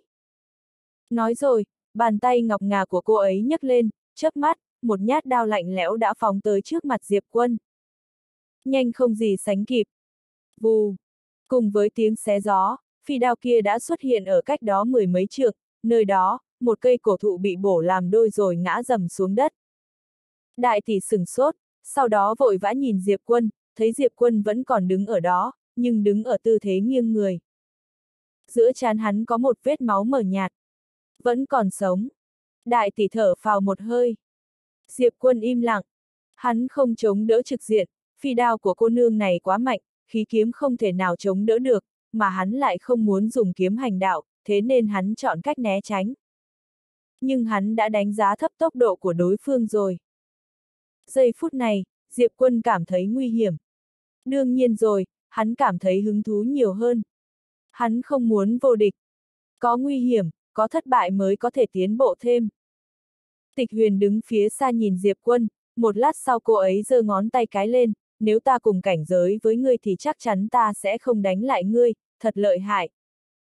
Diệp Quân nhìn tịch huyền, phi đao của cô nương cũng rất lợi hại. Tịch huyền mỉm cười, nói, thư viện không nhận ngươi đúng là một tổn thất lớn. Ta đi đây. Nói xong cô ấy quay người rời đi. Diệp quân bỗng nói, cô nương, đợi đã. Tịch huyền quay người nhìn Diệp quân, sao? Diệp quân trần trừ một lát rồi nói, ta có thể hỏi cô nương một câu không? Tịch huyền cười, người hỏi đi, nhưng ta không đảm bảo sẽ trả lời đâu. Diệp quân gật đầu nói, trông cô nương không giống kẻ ác. Tịch huyền cười hỏi, thì sao? Diệp quân nhìn tịch huyền, điều khiến ta khá tò mò là lúc đó thư viện đã làm gì cô nương, khiến cô nương đại khai sát giới. Ba người đại tỷ cũng nhìn tịch huyền, bọn họ cũng tò mò lắm. Tịch huyền mỉm cười, sao ngươi lại muốn biết điều này? Chỉ vì tò mò thôi à? Diệp quân trầm giọng nói, vừa nãy cô nương suốt đao không dùng toàn lực, cũng không có sát ý, ta nhìn ra được cô nương đã nương tay. Ta có quen một cô nương tên Diệp Quan chỉ, cô ấy là người của Tổng viện, nhân phẩm cực tốt, nếu cô nương gặp chuyện không công bằng, sau này gặp Diệp Quan chỉ cô nương, ta sẽ nói với cô ấy. Tịch huyền nhìn chằm chằm Diệp Quân, người có biết vì sao ta lại xuất hiện ở đây không? Diệp Quân lắc đầu. Tịch huyền xòe tay, một tấm lệnh bài bỗng bay tới trước mặt Diệp Quân, trên lệnh bài có hai chữ lớn, Diệp Quân. Đại tỷ đứng bên cạnh bỗng hoảng sợ, lệnh truy sát. Nói rồi cô ấy nhìn Diệp Quân, có người hạ lệnh truy sát đệ. Diệp Quân trầm lặng, hai tay siết chặt, lòng thầm hỏi, tháp ra, có phải gia tộc mà bố ta vào ở rể đã tới đây rồi không? Tiểu tháp im lặng một lúc rồi đáp, chắc không phải đâu. Diệp Quân do dự một lát rồi hỏi, tại sao? Tiểu tháp không nói gì. Mẹ kiếp, ta phải tiếp tục lừa dối ngươi thế nào đây? Đúng lúc này, tịch huyền bỗng cười, Diệp công tử, ngươi có biết người muốn giết mình là ai không? Diệp quân lắc đầu. Tịch huyền cười nói, bọn họ cho ta thù lao 3.000 vạn kim tinh đấy. Diệp quân rơi vào im lặng, mình có giá thật đấy. Tịch huyền mỉm cười rồi nói, ta cũng rất sao động, nhưng sau khi gặp ngươi thì ta cảm thấy con người ngươi rất chính trực, làm việc quyết đoán nhưng có chừng mực, ta rất tán thưởng ngươi, thế nên ta từ bỏ nhiệm vụ này. Diệp quân nhìn tịch huyền, cô nương có biết ai đã hạ lệnh truy sát ta không? Tịch huyền lắc đầu, không biết. Bên thuê bảo mật thân phận. Điều này đối với người bây giờ không quan trọng. Quan trọng là ngươi phải rời khỏi tội uyên ngay, vì không bao lâu nữa tất cả sát thủ và cường giả trong tội uyên đều sẽ tới tìm ngươi. À không đúng, bọn họ đã trên đường tới đây rồi. Diệp quân trần trừ rồi nói, thực lực của bọn họ so với cô thế nào? Tịch huyền chớp mắt, chắc chắn là không mạnh bằng ta rồi, đùa gì chứ, ta cũng từng là người đứng đầu lớp trẻ của Trung Thổ Thần Châu đấy nhé. Diệp quân gật đầu, không mạnh bằng cô thì tốt.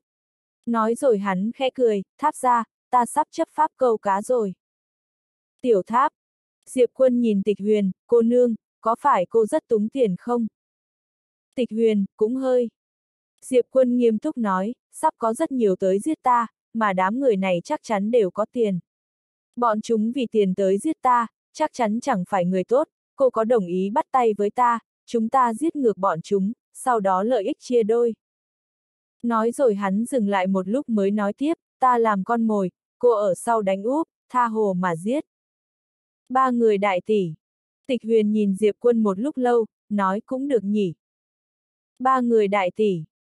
Nghe Diệp quân và tịch huyền nói chuyện, sắc mặt ba người đại tỷ bỗng trở nên kỳ quặc. Thế mà hai người này lại bắt tay nhau sao? Còn Diệp quân sau khi nghe lời tịch huyền nói thì bỗng bật cười, tốt. Tịch huyền nhìn chằm chằm Diệp quân, cười nói, ngươi có biết đứng cùng phe với ta có thể rước đến cho ngươi những gì không? Diệp quân nói, ý cô nương là ta cùng hội với cô nương sẽ bị thư viện quan huyên đối phó à? Tịch huyền cười, ngươi không sợ thư viện quan huyên à?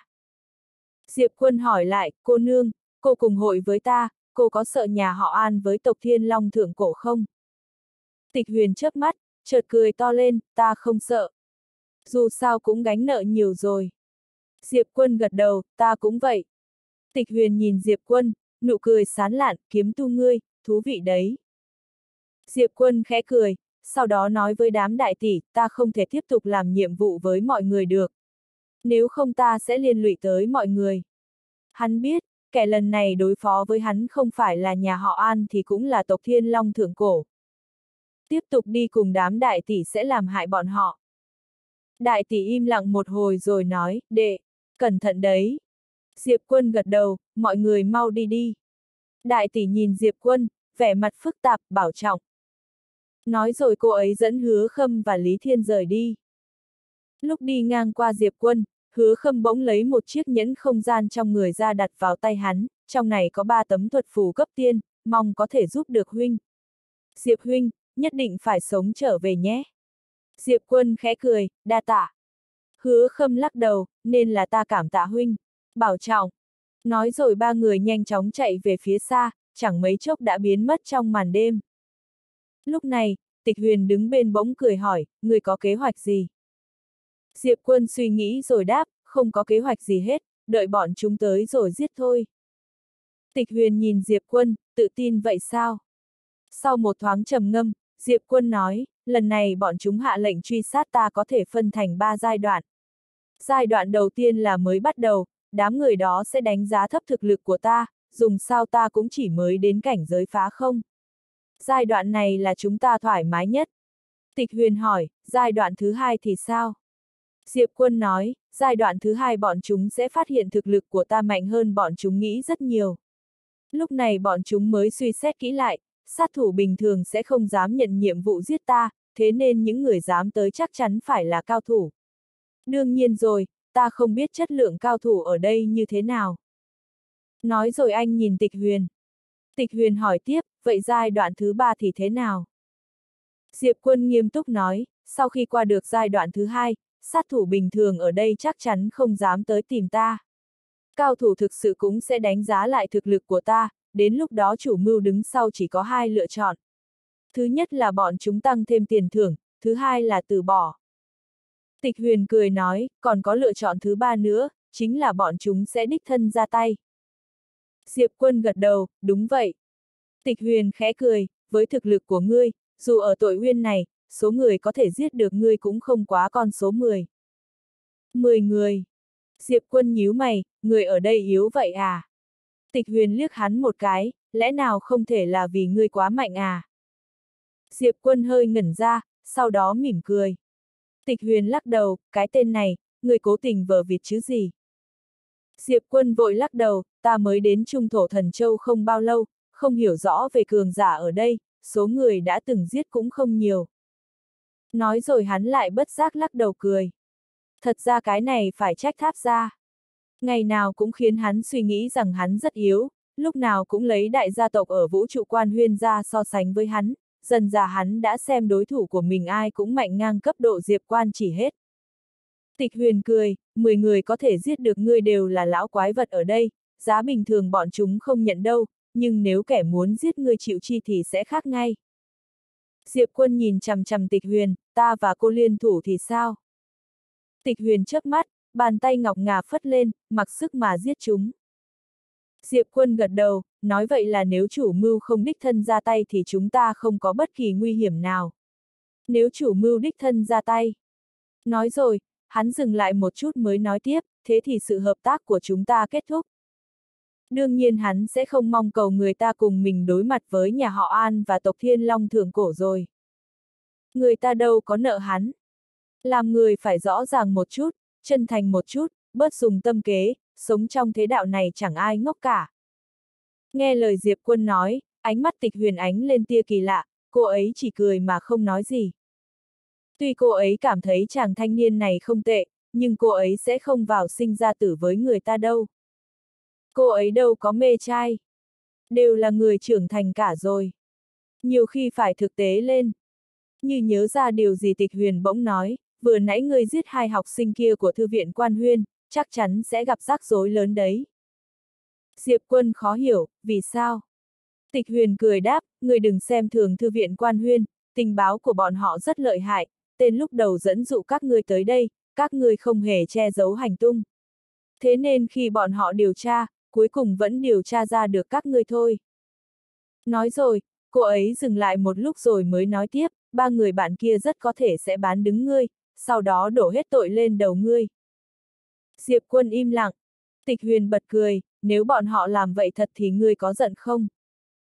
Diệp quân gật đầu, đương nhiên là giận rồi, ta đâu phải thánh nhân. Tịch huyền chớp mắt, thế ngươi có hối hận đã cứu họ không? Diệp quân lắc đầu, không hối hận. Tịch huyền khó hiểu, vì sao? Diệp quân nhìn tịch huyền, ta cứu họ vì nguyên tắc làm người của ta, hơn nữa nó nằm trong khả năng của ta. Nếu cuối cùng bọn họ hại ta, ta sẽ tức giận nhưng sẽ không hối hận, vì con người ai cũng có lòng ích kỷ, đây là nhân tính, tức giận nhưng vẫn hiểu cho họ. Dù sao người không vì mình, trời chu đất diệt, nhưng... Nói rồi, hắn thản nhiên nói tiếp, chắc chắn bọn họ sẽ chết, ta có thể cứu người, cũng có thể giết người. Kẻ nào hại ta, chắc chắn ta sẽ chôn hắn. Tịch huyền bỗng bật cười ha hả. Cô ấy cười không một chút kiêng dè. Diệp quân nhìn tịch huyền, hơi ngờ vực, sao cô nương này hở chút là cười thế nhỉ? Lúc này tịch huyền mỉm cười nói, kiếm tu ngươi, thú vị thật đấy. Ân oán rõ ràng, làm người có giới hạn, tấm lòng kiên trực. Chỉ là không biết giữ được bao lâu. Diệp quân đang định nói gì thì đúng lúc này, hai người bỗng cùng nhìn về phía bên phải, ở cuối tầm nhìn, dường như có một bóng đen đang lao về phía mình. Thấy bóng đen này, Diệp quân híp mắt lại, tới rồi. Tịch huyền cô nương, cô nấp đi. Tịch huyền gật đầu, nhoáng cái đã biến mất. Diệp quân nhìn bóng đen ở phía xa, bóng đen đó bỗng hòa mình vào màn đêm, biến mất không thấy đâu.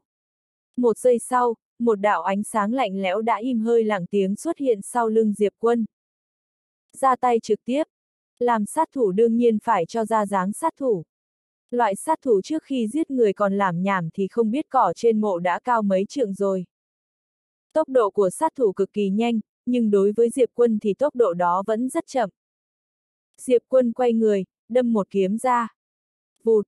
Một thanh đoàn kiếm đã dừng lại cách ấn đường của Diệp Quân vài tấc.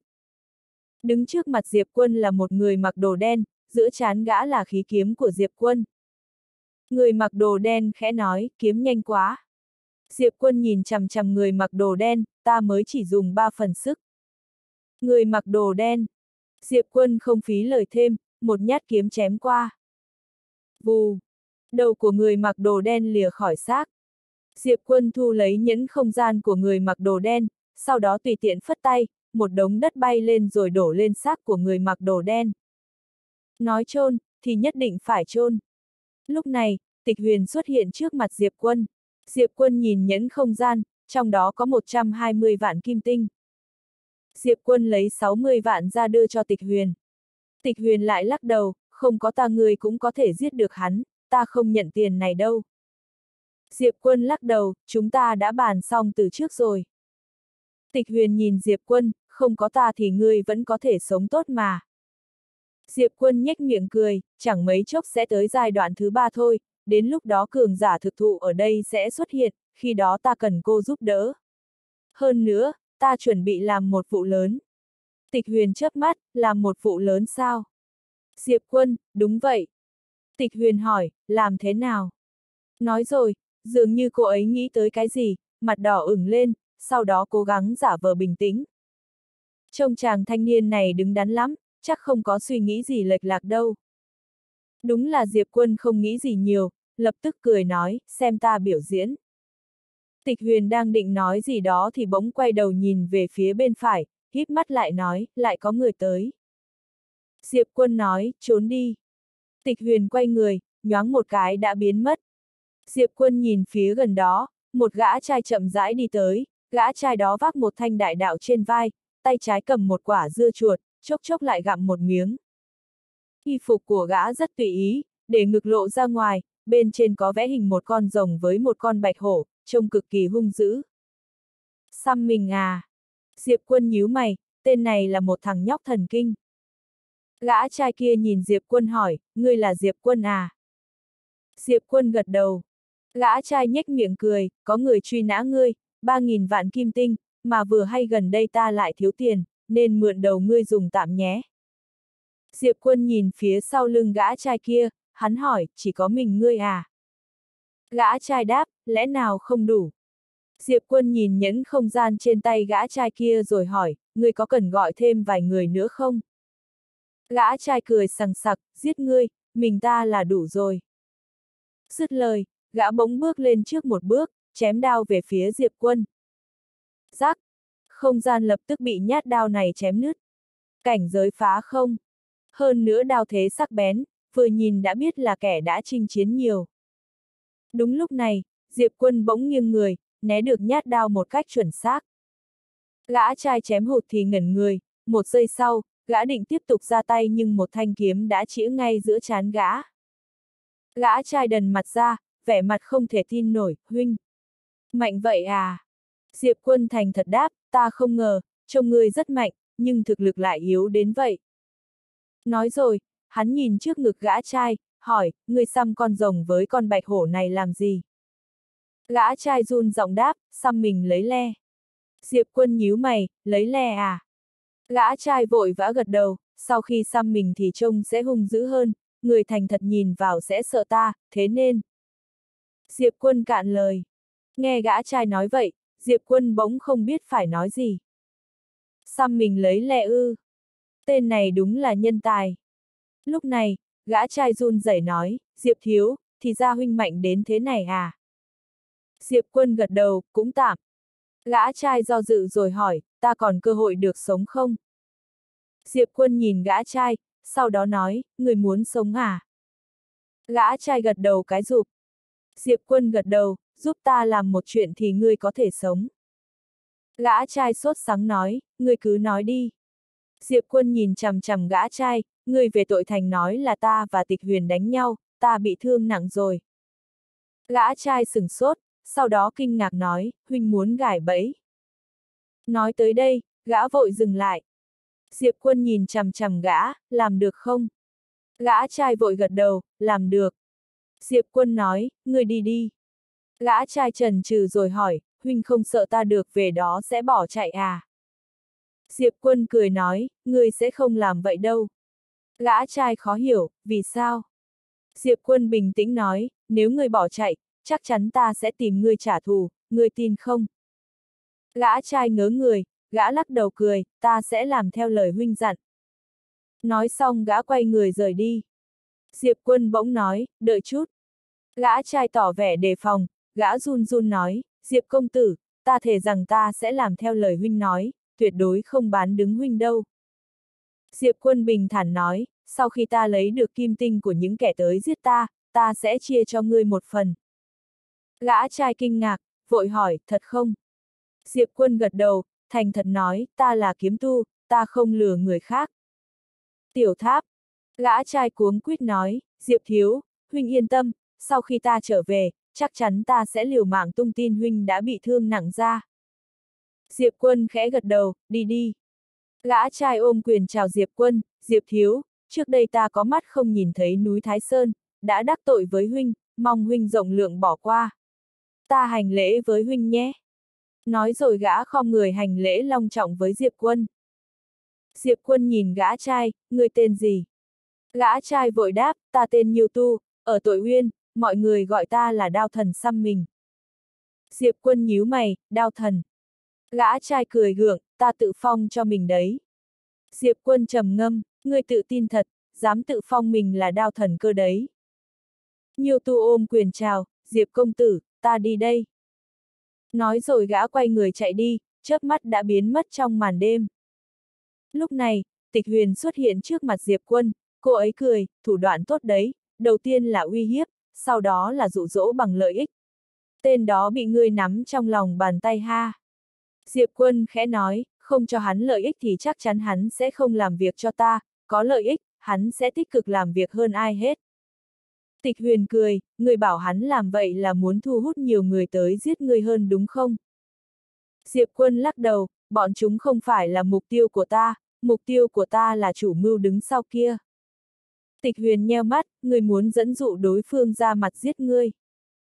Diệp quân gật đầu, đó là mục tiêu của ta, còn người khác. Ta với bọn họ không thù không oán, nếu bọn họ thật sự tới giết ta thì ta chỉ có thể ngậm ngùi phát tài thôi. Tịch huyền hơi sững người, sau đó cười lớn, cười tới mức ngực phập phồng, ngậm ngùi phát tài. Diệp công tử, người thú vị thật đấy. Diệp quân lắc đầu cười, không nói gì. Tịch huyền cười một lúc lâu, cô ấy nhìn Diệp quân nói, Diệp công tử, thư viện không nhận được ngươi đúng là một tổn thất cực kỳ lớn. Diệp quân nói, thư viện mất đi cô nương cũng là một tổn thất vô cùng lớn. Nói rồi hai người nhìn nhau cười. Tịch huyền, chúng ta đừng khen nhau nữa. Nói chuyện chính đi, người cảm thấy kẻ truy nã người lần này là ai? Diệp quân thản nhiên nói, nếu không phải là nhà họ An thì chắc chắn là tộc Thiên Long Thượng Cổ. Tịch huyền nhìn chằm chằm Diệp quân, toàn là những thực lực đỉnh cấp. Diệp quân gật đầu. Tịch huyền cười nói, người có thể sống được sau khi đắc tội với hai thế lực này, người cũng không đơn giản ha. Diệp quân khẽ cười, ta có một tháp gia rất lợi hại. Tiểu tháp. Tịch huyền chớp mắt hỏi, tháp gia. Diệp quân gật đầu, tuy nó vẫn luôn khiêm tốn nhưng ta biết nó đang cố ý che giấu. Chắc chắn năm xưa nó cũng là một nhân vật lớn vô cùng đỉnh. Ha ha! Tiểu tháp bỗng cười lớn, thằng nhóc này, người đừng tâng bốc ta, ta không tiếp chiêu này của ngươi đâu, ha ha! Diệp quân thành thật nói, tháp ra, ta không tâng bốc, ngươi không sợ cả tộc thiên long thượng cổ, có thể tưởng tượng ra được ngươi cũng từng là một đại lão tuyệt thế có thể hô mưa gọi gió. Tiểu tháp cười nói, cũng tạm, cũng tạm thôi. Nó dừng lại một lát rồi mới nói tiếp, ngươi vẫn cần phải cố gắng, dù sao thì kẻ địch của ngươi thật sự rất rất mạnh. Biết chưa? Diệp quân gật đầu, ta hiểu rồi. Tiểu tháp do dự rồi nói, đợi thêm một thời gian nữa, ta sẽ giúp ngươi nâng cao kiếm ý, tiện thể cho ngươi một quyền tâm pháp, bây giờ ở nơi này có thể miễn cưỡng tu luyện tâm pháp của ta rồi. Diệp quân vội gật đầu, được, được, ta nghe theo tháp ra hết. Trong tháp, tiểu tháp bỗng hơi cảm khái, từ lúc bắt đầu đến nay, ta đã ở nhà họ Dương ba đời rồi, đi theo chủ nhân đời thứ nhất, ngày nào cũng sống trong nơm nớp lo sợ, không phải là đang giết người thì cũng đang trên đường đi giết người. Lão chủ nhân hở chút là tự nổ với tự đốt linh hồn, những ngày tháng đó lúc nào cũng thấp tha thấp thỏm. Sau khi đi theo chủ nhân đời thứ hai, tiểu chủ này cả ngày mơ mộng, trêu hoa gẹo nguyệt tuyệt chẳng ai bằng. Nói rồi nó khẽ thở dài, bây giờ, đời chủ nhân thứ ba cuối cùng cũng bình thường rồi. Cuối cùng tiểu tháp ta cũng vượt qua những ngày tháng kia rồi. Giọng nói bí ẩn, hắn đang tâng bốc người thôi. Tiểu tháp cười ha hả, ta biết hắn đang tâng bốc ta, nhưng thế thì có sao? Ta thích nghe. Giọng nói bí ẩn im lặng. Lần này nó không tranh luận nữa. Tịch huyền đứng đối diện Diệp Quân đang định nói gì đó nhưng hai người bỗng quay đầu nhìn về phía xa. Phía cuối tầm nhìn, mấy trăm người đang xông về bên này. Thấy cảnh này, Diệp Quân ngớ người.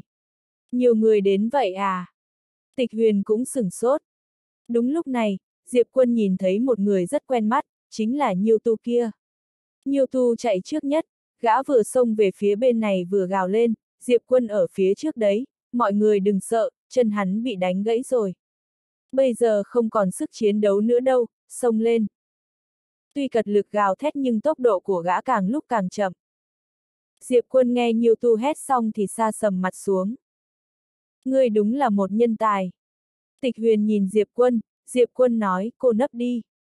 Giúp ta quan sát, ta sợ có người đánh lén ta. Tịch huyền gật đầu, ngươi cẩn thận. Nói xong cô ấy búng người, biến mất trong đêm đen. Diệp quân nhìn mấy trăm người đang xông đến, vẻ mặt bình tĩnh. Đám người xông đến đầu tiên thấy Diệp quân thì sững sờ. Gãy chân đâu? Chẳng phải hắn đang rất ổn đây sao? Bị lừa rồi. Nhưng lúc này đã phóng lao đi rồi, phải theo lao thôi. Người đàn ông cầm đầu bỗng hung dữ nói, giết Diệp quân sẽ có 3.000 vạn kim tinh. Giết! Nói rồi hắn ta xông thẳng về phía Diệp quân. Mẹ kiếp! Đã đến lúc này rồi, chân người không gãy cũng phải xem như là đã gãy. Nhiều tù kia đã lùi lại sau đám người rồi. Diệp quân nhìn mấy trăm người đang xông về phía mình, hắn chậm rãi nhắm mắt lại. Trong đám người này, kẻ có cảnh giới thấp nhất cũng là bằng cảnh giới với hắn, hơn nữa đám người này đều là những kẻ ra tay tàn độc. Sợ không? Đương nhiên hắn không sợ. Không một chút sợ hãi nào. Diệp quân bỗng mở mắt ra, trong nháy mắt, một thanh khí kiếm đã xuyên thủng chán của người đàn ông dẫn đầu. Bụp! Người đàn ông đó đổ sầm xuống đất. Mà ngay lúc hắn ta ngã xuống, Diệp quân đã xuất hiện trước mặt hắn ta như một hồn ma. Một giây sau, hắn rút mạnh khí kiếm ra, sau đó thì nhoáng lên một cái. Dầm! Lại một người nữa ngã xuống. Lúc người này ngã xuống, hắn đã xuất hiện cách đó mấy trượng. Nơi đó, có một người đàn ông đã bị một thanh kiếm xuyên qua đầu. Chớp mắt sau, Diệp Quân lại xuất hiện cách đó mười mấy trượng. Vù! Một cái đầu đẫm máu bay ra ngoài. Chỉ trong vài nhịp thở, Diệp Quân đã liên tục giết được mười mấy người. Đám người ở đây còn không thấy được bóng dáng của Diệp Quân ở đâu. Tốc độ quá nhanh. Trên ngọn cây nào đó, Tịch Huyền nhìn Diệp Quân ở bên dưới, lẩm bẩm, tên này nhanh thật đấy. Nói rồi, dường như cô ấy nhớ ra điều gì, gương mặt lại đỏ ửng lên, trong sách có nói, tốc độ của đàn ông nhanh quá, không tốt lắm đâu. Trong đêm tối, Diệp Quân liên tục đi xuyên trong đám cường giả như một bóng ma. Từng tiếng kêu thảm thiết vang lên. Một nhát kiếm một người. Đều giết trong tích tắc.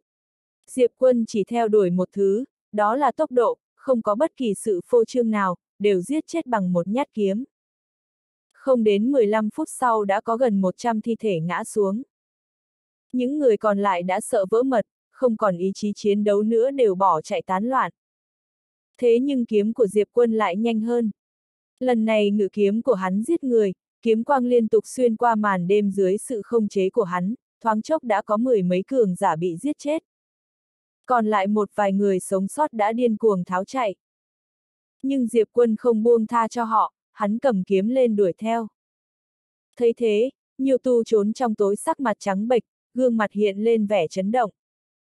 Gã biết Diệp Quân rất mạnh nhưng không ngờ Diệp Quân lại mạnh đến mức này. Đúng là một tên biến thái. Tịch huyền đứng lên ngọn cây nhìn Diệp Quân đang đuổi giết ra ngoài đó, cũng cảm thấy kinh ngạc. Cái tên trông có vẻ dịu dàng, nho nhã thế mà lại ra tay rất tàn độc. Ngay lúc này, tịch huyền bỗng quay đầu lại, mắt cô ấy nheo lại, ngay sau đó một phi đao đã chém giết cách đó mấy chục trường. Xoẹt! Tiếng xé tan không khí vang lên, một cái đầu đầy máu rơi xuống nơi đó, sau đó một thi thể rơi xuống từ trên cây, trong tay thi thể còn cầm một cây cung. Tịch huyền run lên rồi biến mất ở đằng xa. Trước tội thành, mười mấy người đang liều mạng chạy về phía tội thành, đằng sau họ là một đống thi thể. Sắc mặt mười mấy người đều trắng bệch, ánh mắt hiện lên vẻ sợ hãi. Đúng lúc này, một luồng kiếm quang bỗng lóe lên. Đầu của hai cường giả trong đó bay ra ngoài. Tám người còn lại càng liều mạng chạy về phía cổng thành đó. Lúc này lại thêm một kiếm quang xoẹt qua. Vèo. Lại thêm một người ngã xuống. Nhưng lúc này bảy người còn lại đã chạy vào trong thành. Một thanh kiếm bỗng bay vào trong thành nhưng lúc sắp bay vào cổng thành, một tia sáng bỗng nổ trên thanh kiếm đó. ầm, um, thanh kiếm bị ép buộc dừng lại trước cổng thành. Diệp quân xòe bàn tay ra, khí kiếm bay lại vào trong tay hắn, hắn nhìn lên tường thành, một ông lão đang đứng trên tường thành nhìn hắn, không được đánh nhau ở tội thành. Diệp quân nhìn ông lão, gật đầu, được. Nói rồi hắn nhặt hết nhẫn không gian của các thi thể đó. Ông lão đứng trên tường thành nghe Diệp quân nói thế cũng sửng sốt, tên này cứ bỏ qua như thế ư. Ông ta còn tưởng chàng trai đó sẽ manh động đánh vào tội thành. Thế nhưng tên này lại dừng lại. Không lâu sau, Diệp quân đã cất hết nhẫn không gian của các thi thể ở đó, sau đó rời đi. Ông lão bỗng nói, khoan đã. Diệp quân xoay người nhìn ông lão, ông lão trầm giọng nói, ngươi là Diệp quân à? Diệp quân gật đầu, đúng thế. Ông lão nhìn Diệp quân, có người bỏ ra ba ngàn vạn kim tinh để truy bắt ngươi. Diệp quân gật đầu, ta biết. Ông lão còn định nói gì thì đúng lúc này trong thành vang lên một giọng nói, bảng khen thưởng đã được cập nhật. 100 triệu, hễ ai giết được Diệp quân, 100 triệu kim tinh. 100 triệu. Nghe thế, ánh mắt các cường giả xuất hiện trên tường thành đều trở nên nóng rực.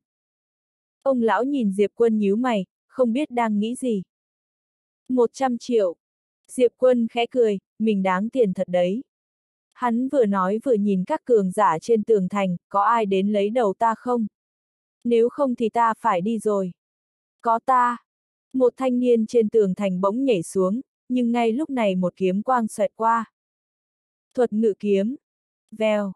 Đầu của thanh niên đó văng ra xa trong tầm mắt mọi người nhưng cơ thể hắn ta vẫn còn đang chạy về trước. Cái đầu bay về phía trước, hồn đuổi theo phía sau. Lúc cả người thanh niên rơi xuống đất thì đã không còn đầu nữa. Diệp quân cúi người xuống lấy chiếc nhẫn của thanh niên này, sau đó nói cảm ơn nhé. Thanh niên, người đứng trên tường thành biến sắc khi nhìn thấy cảnh tượng này. Giết trong tích tắc, thanh niên đó là một cường giả cảnh giới diệt không đấy. Thế nhưng lại bị giết trong tích tắc. Vài người ở đó đều đánh bay ý nghĩ giết Diệp quân. Tiền thưởng rất lớn nhưng mạng sống quan trọng hơn. Diệp quân ngẩng đầu nhìn đám người trên tường thành nói, còn ai không? Trên tường thành rơi vào im lặng. Diệp quân xoay người bỏ đi, nhưng lúc xoay người đi hắn bỗng ho dữ dội, sau đó mọi người nhìn thấy khóe miệng Diệp quân có vết máu. Bị thương rồi. Người trên tường thành đều ngơ ngác. Mẹ nó! Đúng lúc này, một chàng trai cao lớn nhảy xuống khỏi tường thành, gã cầm một thanh đao tức giận nhìn Diệp quân, mọi người hợp sức lại giết tên này, cùng nhận tiền thưởng. Nghe thế mọi người cũng hơi động lòng. Nhưng không ai dám động đậy. Thấy mọi người không động đậy, gã sừng sốt nói, người gan dạ chết vì no, kẻ hèn nhát chết vì đói. Hắn đã bị thương nặng, các người còn sợ gì chứ? Giết hắn. Mọi người vẫn không động đậy. Lúc này một chàng trai tay cầm quạt gấp bỗng cười nói, cảnh đại hán, ngươi lên đánh với hắn hai chiêu, xem thử hắn còn có thể đánh được không, nếu được thì bọn ta đến giúp ngươi. Nghe thế mọi người đều gật đầu. Sắc mặt cảnh đại hán cũng trở nên khó coi, hắn ta nhìn chàng trai cầm quạt, Trương Hoa Hoa, người xem ta là tên ngốc à. Chàng trai tên Trương Hoa Hoa nói, ta nghĩ ngươi là tên ngốc đấy. Cảnh đại hán nổi giận muốn đánh người, Trương Hoa Hoa cười nói, tên ngốc cảnh đại đừng tức giận, ta đang cứu ngươi đấy. Ngươi nhìn kỹ lại xem, Diệp công tử đó có thể giết hàng trăm người bằng một nhát kiếm, còn đám người đó không có ai có cảnh giới thấp hơn hắn. Đây có nghĩa là sao? Tức là hắn không chỉ lợi hại mà chắc chắn người đứng đằng sau hắn cũng rất lợi hại. Nói rồi hắn ta nhìn Diệp quân ở phía đằng xa nói, mẹ nó, người có thể dạy được một thiên tài như vậy là người chúng ta có thể chọc vào sao? Cảnh đại hán im lặng không nói, ngẫm lại mới thấy sợ. Trương Hoa Hoa nhìn cảnh đại hán, không có việc gì thì đừng chỉ tu luyện đao kiếm mà còn phải tu luyện đầu óc của ngươi nữa. Cảnh đại hán lạnh lùng nhìn Trương Hoa Hoa, sau đó có người nhìn Diệp Quân, Diệp Quân bình tĩnh nói, có đánh không? Cảnh đại hán lắc đầu, không đánh, không đánh. Diệp Quân bình tĩnh nói, không đánh cũng được nhưng để nhẫn lại. Nghe thế cảnh đại hán nổi giận, nhưng khi nhìn thấy thanh kiếm trong tay Diệp Quân, cơn giận của hắn ta bỗng lắng xuống. Mẹ kiếp! Chắc không phải tên này đang giả vờ bị thương để lừa ông đây đấy chứ. Nghĩ đến đây, hắn ta liếc nhìn cổng thành. Lúc này Diệp Quân nói, ngươi có thể thử xem tốc độ của ngươi nhanh hơn hay kiếm của ta nhanh hơn. Cảnh đại hán im lặng không nói gì. Trương Hoa Hoa, mau giao nhẫn ra đi, phá sản như tiêu trừ hậu họa. Cảnh đại hán nhìn Diệp Quân, sau đó xòe bàn tay ra, chiếc nhẫn bay đến trước mặt Diệp Quân. Diệp Quân nhìn chiếc nhẫn, trong chiếc nhẫn chỉ có hơn 50 vạn kim tinh. Diệp Quân nhíu mày hơi bất mãn, sao ngươi lại nghèo thế? Cơ mặt cảnh đại hán khẽ giật, hắn ta nhìn Diệp Quân không nói lời nào đã xoay người đi vào trong thành. Phải nói rằng, hắn ta đang nghẹn một bụng tức. Vốn dĩ cứ nghĩ mình can đảm đứng ra thì người trên tường thành sẽ hợp sức với mình nhưng hắn ta không ngờ đám người này đều không lên. Mình đúng là một tên thiểu năng.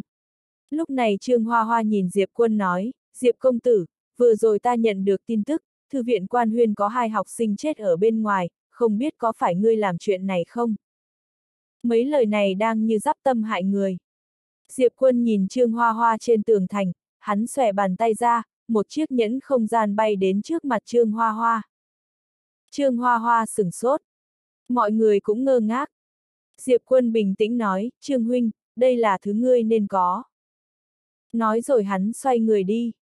Tốc độ rất nhanh, tích tắc đã biến mất. Trương Hoa Hoa đứng trên tường thành nhảy lên, mẹ nó, người đừng đi, người nói rõ cho ta nghe xem, này, này. Mọi người trên tường thành nhìn Trương Hoa Hoa với vẻ khó coi. Mẹ kiếp! Hóa ra các ngươi là cùng một bọn à. Sắc mặt Trương Hoa Hoa hơi khó coi, hắn ta biết không thể ở đây nữa, sau đó hắn ta bèn nhảy xuống rồi biến mất. Diệp quân vừa đi vào rừng sâu, nhiều tu đó xuất hiện trước mặt hắn, trong tay nhiều tu là một đống nhẫn không gian. Lúc nãy Diệp quân phụ trách giết người, gã đã nhặt nhẫn.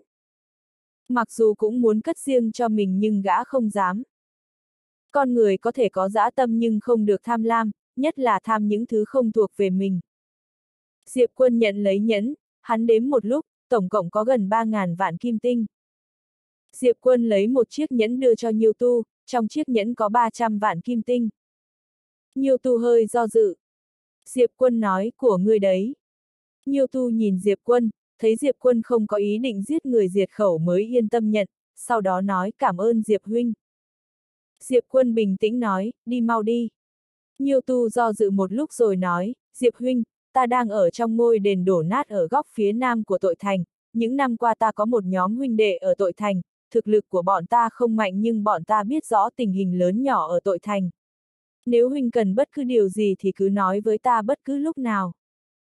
Diệp quân ngẫm nghĩ rồi nói, đến tiên bảo các một chuyến, tìm một quản sự tên Tần Phong bảo y điều tra giúp ta rốt cuộc là ai gây chuyện với ta. Hắn biết muốn điều tra ra được lai lịch và thực lực của đối phương thì chỉ có thể tìm đến tiên bảo các để nhờ giúp. Há miệng chờ sung không phải là cách làm việc của hắn. Nhiêu tu gật đầu, vâng. Nói rồi gã chắp tay lại, xoay người đi. Sau khi Nhiêu tu rời đi, Diệp quân nhắm mắt lại. Không lâu sau hắn nhíu mày. Tịch huyền không hề xuất hiện. Tại sao lại không xuất hiện? Có người. Diệp quân nheo mắt, đúng lúc này đột nhiên có sự thay đổi, mặt đất trước mặt hắn bỗng có một bóng người, ngay sau đó một tia sáng đã đánh vào cổ họng hắn. Lúc này một phi dao bỗng xoẹt qua. Vèo. Tia sáng đó dừng lại khi chỉ còn cách cổ Diệp Quân một tấc. Một người mặc đồ đen đứng trước mặt Diệp Quân, sau gáy gã có một phi đao. Lúc này Tịch Huyền xuất hiện trước mặt Diệp Quân. Tịch Huyền mỉm cười, tên này là U Linh, là sát thủ rất nổi tiếng ở tội thành, gã đã ẩn náu ở đây lâu rồi. Diệp Quân xòe bàn tay ra, một chiếc nhẫn bay vào trong tay Tịch Huyền. Trong chiếc nhẫn có gần 1.400 vạn kim tinh. Tịch huyền nhìn Diệp Quân, cho ta sao? Diệp Quân gật đầu. Tịch huyền cười nói, nói thật ta cảm thấy hơi hổ thẹn, không giúp gì được mà còn lấy nhiều tiền như vậy, cái này gọi là ham tiền. Cô ấy vừa nói vừa nhận lấy nhẫn không gian. Diệp Quân nói, tịch huyền cô nương, ta muốn nhờ cô giúp một việc. Tịch huyền cười nói, người nói đi. Diệp Quân nói, theo như ta đoán, người nhằm vào ta lần này không phải nhà họ An thì là tộc Thiên Long Viễn Cổ. Chỉ cần tình báo của tiên bảo các đến, ta sẽ đánh vào tội thành.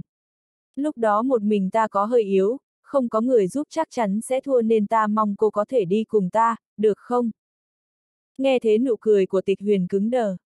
Cô ấy bỗng cảm thấy chiếc nhẫn trong tay hơi nóng. Thôi xong, bị người này gài bẫy rồi. Thấy tịch huyền im lặng, Diệp quân cười gượng tịch huyền cô nương, không phải ta đang bày mưu tính kế với cô, thực lực của cô rất mạnh, nếu sẵn sàng giúp đỡ ta, ta sẽ nắm chắc 100% chém giết đối phương, hơn nữa còn an toàn trở ra. Tịch huyền im lặng, dù giết tộc thiên long viễn cổ, hay giết nhà họ An đều sẽ có hậu quả lớn. Hai thế lực này cũng không phải là thế lực bình thường, cũng không phải là thế lực mà thư viện quan huyên của Trung Thổ Thần Châu có thể so sánh. Diệp quân lại nói, đối phương dám bỏ ra 100 triệu kim tinh đuổi giết ta, nói cách khác, trên người hắn nhất định là có số tiền này, nếu ta giết được đối phương thì chúng ta chia đều số tiền này, được không? Tịch huyền vẫn giữ im lặng. Diệp quân đang định nói tiếp, lúc này, bên cạnh hắn đột nhiên rung chuyển, một khắc sau, thời không nứt ra, nhiều tù bước tới. Diệp quân và tịch huyền đều sửng sốt. Nhiều tù vội vàng đi tới trước mặt Diệp quân, Diệp công tử, là tần công tử lợi dụng trận pháp dịch chuyển đặc biệt đưa ta đến nơi này. Nói xong, gã lấy ra một quyển trục đưa cho Diệp quân, tần công tử bảo ta giao cho huynh thứ này.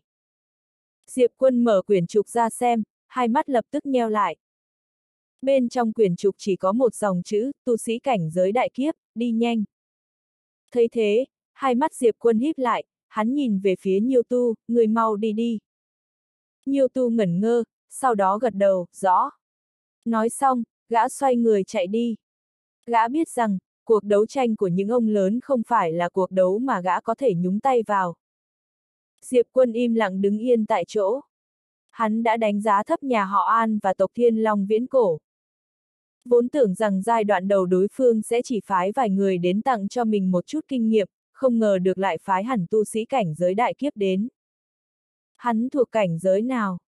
Hắn cùng lắm cũng mới chỉ đạt tới cảnh giới phá không mà thôi. Còn đối phương đã phái cường giả cảnh giới đại kiếp tới. Trên cảnh giới phá không là cảnh giới diệt không, phía trên là cảnh giới địa pháp, cảnh giới thiên pháp, cảnh giới tiểu kiếp, cảnh giới đại kiếp. Cao hơn hắn năm cảnh giới. Sắc mặt Diệp Quân hơi khó coi, mẹ nó, các người thật sự đánh giá quá cao ta rồi. Lúc này, Tịch Huyền cũng nhìn thấy nội dung của quyển trục, khi nhìn thấy cảnh giới đại kiếp, cô ấy hơi sững sờ, sau đó nói, ngươi. Diệp Quân nhìn về phía Tịch Huyền, Tịch Huyền cô nương, không thể đánh lại được. Ta phải tạm tránh đi, cô cũng đi nhanh đi. Nói xong, hắn xoay người chạy đi. Lúc này, đột nhiên Tịch Huyền nói, đến tội thành. Diệp Quân nhìn lại Tịch Huyền, Tịch huyền trầm giọng nói, tội thành có quy tắc không được ra tay, quy tắc này của tội thành đã kéo dài gần ngàn năm, vẫn chưa từng có người nào phá vỡ nó. Diệp quân suy ngẫm, sau đó gật đầu, được. Dứt lời, hắn xoay người chợt lóe lên, lập tức hóa thành một đạo kiếm quang biến mất ở phía xa. Xa xa, trên đường, vẻ mặt Diệp quân vô cùng nặng nề, hắn thật sự không thể ngờ đối phương lại phái một cao thủ mạnh như vậy đến giết hắn. Bọn họ không muốn cho hắn bất kỳ cơ hội phát triển nào. Ngay khi Diệp Quân đi tới trước cửa tội thành, một luồng khí thức khủng bố đột nhiên khóa hắn lại. ầm ầm, không gian xung quanh Diệp Quân bỗng trở nên méo mó. Hai mắt Diệp Quân híp lại, giơ tay lên chém xuống một nhát kiếm. Xoẹt, không gian nứt ra. Đúng lúc này, một đạo lôi hỏa đột nhiên giáng từ trên trời xuống, tốc độ cực nhanh, trong chớp mắt đã tới đỉnh đầu Diệp Quân. Áp lực cực mạnh làm cho sắc mặt Diệp Quân thay đổi trong nháy mắt, hắn vừa định tránh né, nhưng ngay sau đó, lại là một luồng khí tức mạnh mẽ khóa chặt hắn lại, luồng khí tức này tựa như một cái lồng giam, cưỡng ép nhốt hẳn lại tại chỗ. Diệp Quân lại xuất kiếm. Xoẹt! Luồng khí tức kia bị hắn chém nát, nhưng lúc này, đạo lôi hỏa kia đã rơi xuống. Diệp Quân không thể tránh né, đành phải xuất kiếm lần nữa. Xoẹt! một đạo kiếm quang chém vào đạo lôi hỏa. ầm, um, kiếm quang bị nghiền nát, Diệp Quân bị đánh thẳng vào bay ra ngoài mấy chục trường. Sau khi Diệp Quân dừng lại, quần áo của hắn lập tức bốc cháy. Trong mắt Diệp Quân hiện lên vẻ hung ác, lòng bàn tay hắn mở ra, một đạo kiếm ý đột nhiên lao ra. ầm, um, lôi hỏa trên người bị đánh nát. Diệp Quân ngẩng đầu lên nhìn về hướng cách đó không xa, nơi đó có một lão già mặc áo xám, lão già cầm một thanh pháp trượng, ở bên phải lão già còn có một người đàn ông trung niên cầm cây thương dài. Không phải là một cao thủ cảnh giới đại kiếp, mà là hai cao thủ. Bấy giờ, cũng có một số người trên tường thành. Lão già áo xám nhìn chằm chằm vào Diệp Quân, mặt không cảm xúc, quả nhiên ngươi quả nhiên là một kiếm tiên. Một kiếm tiên trẻ như vậy. Xem ra, lần này chúng ta tới đúng rồi. Diệp quân nhìn chằm chằm lão già áo xám, lúc trước các người phát lệnh truy nã để cho những người đó đến giết ta, là muốn thăm dò thực lực của ta. Lão già áo xám bình tĩnh nói, cẩn thận một chút luôn luôn đúng. Diệp quân chợt lóe lên, lướt về phía bên cạnh thành, tốc độ của hắn rất nhanh, trong nháy mắt đã tiến vào trong thành. Lão già áo xám kia lại cười khẩy, không hề có ý định ngăn cản. Diệp quân nhíu mày, cảm thấy có gì đó không đúng lắm. Ngay sau đó, xung quanh đột nhiên xuất hiện một luồng khí tức khủng khiếp. ầm ầm, không gian xung quanh Diệp quân bị đánh nát, ngay sau đó, cách đó không xa xuất hiện một lão già mặc áo đen. Lão già áo đen nhìn chằm chằm Diệp quân, Diệp quân công tử, tội thành bọn ta không hoan nghênh ngươi. Xin mời đi ra ngoài. Không hoan nghênh. Nghe vậy, vẻ mặt của mọi người trên tường thành chợt trở nên cổ quái. Lão già áo đen này chính là Trương Nguyên, thành chủ của tội thành. Diệp quân liếc mắt nhìn Trương Nguyên, không nói gì, xoay người đi ra ngoài thành. Vừa bước ra khỏi tội thành, xa xa, lão già áo xám đột nhiên khẽ cười, Diệp quân, người có biết tại sao ngươi có thể sống lâu như vậy không? Để ta nói cho ngươi biết, sở dĩ ngươi có thể sống lâu như vậy là bởi vì vị Diệp chủ tịch kia, bọn ta vẫn luôn chờ cô ta trở lại Tổng viện Quan Huyên. Mà bây giờ, cô ta đã trở lại Tổng viện, cũng có nghĩa là không có ai đằng sau ngươi nữa. Không có cô ta che chở, đừng nói ngươi, cho dù là vị đại kiếm tiên phía sau ngươi thì bọn ta cũng có thể dễ dàng bóp chết như bóp chết con kiến. Hai mắt Diệp quân nheo lại, đang định ra tay, đúng lúc này, kiếm hành đạo trong cơ thể hắn đột nhiên bay ra. Xoẹt! Lão già áo xám bị thanh kiếm này xuyên qua giữa lông mày. Tất cả mọi người hóa đá. Diệp quân cũng sửng sốt, vẻ mặt ngơ ngác. Hắn không làm gì cả. Tại sao thanh kiếm này lại tự mình xuất chiêu? Bên trong tiểu tháp, tiểu tháp lạnh lùng nói, chơi thì chơi, náo loạn thì náo loạn, nhưng đừng lấy thiên mệnh tỷ tỷ ra để đùa giỡn. Giọng nói bí ẩn cũng đáp lời, đây chính là kết cục của kẻ ba hoa khoác lác. Người có thể ức hiếp thằng nhóc này, nhưng người không thể sỉ nhục những người đằng sau hắn. Tất cả mọi người có mặt ở đó đều hoàn toàn chết lặng. Một cường giả cảnh giới đại kiếp bị giết chết trong tích tắc như vậy sao? Tất cả mọi người đồng loạt nhìn về phía Diệp Quân. Tên này đã che giấu thực lực sao? Lão già áo xám còn chưa hoàn toàn chết không thể tin được nhìn chằm chằm Diệp Quân, trong mắt ngập tràn sợ hãi, người căn bản không phải kiếm tiên, ngươi là... Ngươi là đại kiếm tiên. Đại kiếm tiên.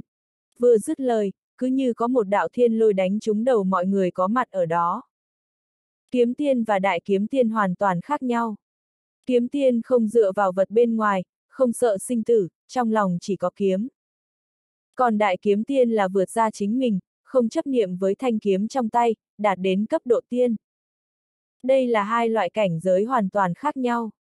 Kiếm tiên đã xuất hiện ở Trung Thổ Thần Châu, nhưng gần ngàn năm nay đại kiếm tiên chưa từng xuất hiện ở Trung Thổ Thần Châu. Trước mắt mà nói, chỉ có vũ trụ quan huyên mới có đại kiếm tiên, mà ở vũ trụ quan huyên, đại kiếm tiên cũng là sự tồn tại đỉnh cao. Bây giờ, ở nơi này lại xuất hiện một đại kiếm tiên. Sở dĩ bọn họ cho rằng Diệp Quân là đại kiếm tiên là bởi vì nhát kiếm vừa nãy đã giết chết một cường giả cảnh giới đại kiếp. Cảnh giới đại kiếp đấy. Một kiếm tiên căn bản không thể làm được, cường giả có thể làm được cũng chỉ có đại kiếm tiên trong truyền thuyết. Đại kiếm tiên.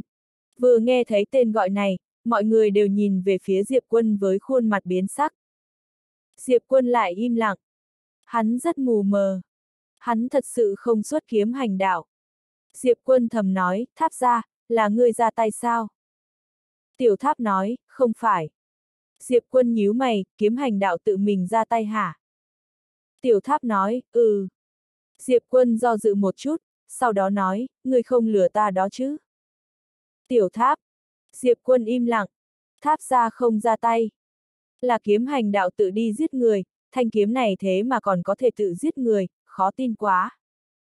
Đúng lúc này, kiếm hành đạo xa xa đột nhiên rung lên kịch liệt, trong nháy mắt, lão giả áo xám kia bị giết không còn lại gì. Nhìn thấy cảnh tượng này, sắc mặt của người đàn ông trung niên cầm cây thương dài bên cạnh lập tức trở nên trắng bệch, quét sạch. Quả nhiên ngươi là đại kiếm tiên, quả nhiên ngươi là... Nói xong, ông ta không hề do dự xoay người bỏ chạy, trong chớp mắt, đã biến mất trong đêm tối xa xa. Chạy rồi. Kiếm hành đạo lại chủ động bay về trước mặt Diệp Quân. Diệp Quân nhìn thanh kiếm hành đạo trước mặt, im lặng. Mọi người xung quanh đều đang nhìn Diệp Quân, trong mắt ngoại trừ sợ hãi ra còn có vẻ kính sợ. Đại kiếm tiên đấy. Hơn nữa, còn là đại kiếm tiên trẻ tuổi như vậy. Trong ánh mắt của mọi người, Diệp Quân thu hồi kiếm hành đạo, hắn xoay người nhìn về phía Trương Nguyên, sắc mặt Trương Nguyên chợt biến đổi, thần sắc vô cùng đề phòng. Diệp Quân không nói gì, xoay người đi ra ngoài. Phủ nhà họ An ở Thanh Châu. Trong một sân, một người phụ nữ xinh đẹp nằm trên ghế, trước mặt là một người đàn ông trung niên đang quỳ. Người này chính là người đàn ông trung niên lúc trước chạy trốn trước cổng tội thành. Còn người phụ nữ xinh đẹp chính là An Nhã gia chủ mới của nhà họ An. An Nhã bình tĩnh nói, đại kiếm tiên ư.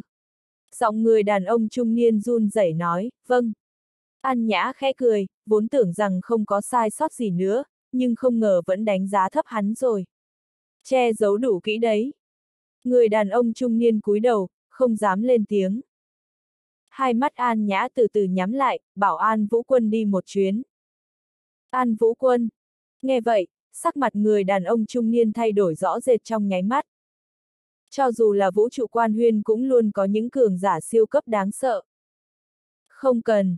Ngay sau đó, một âm thanh đột nhiên đến truyền đến từ bên cạnh.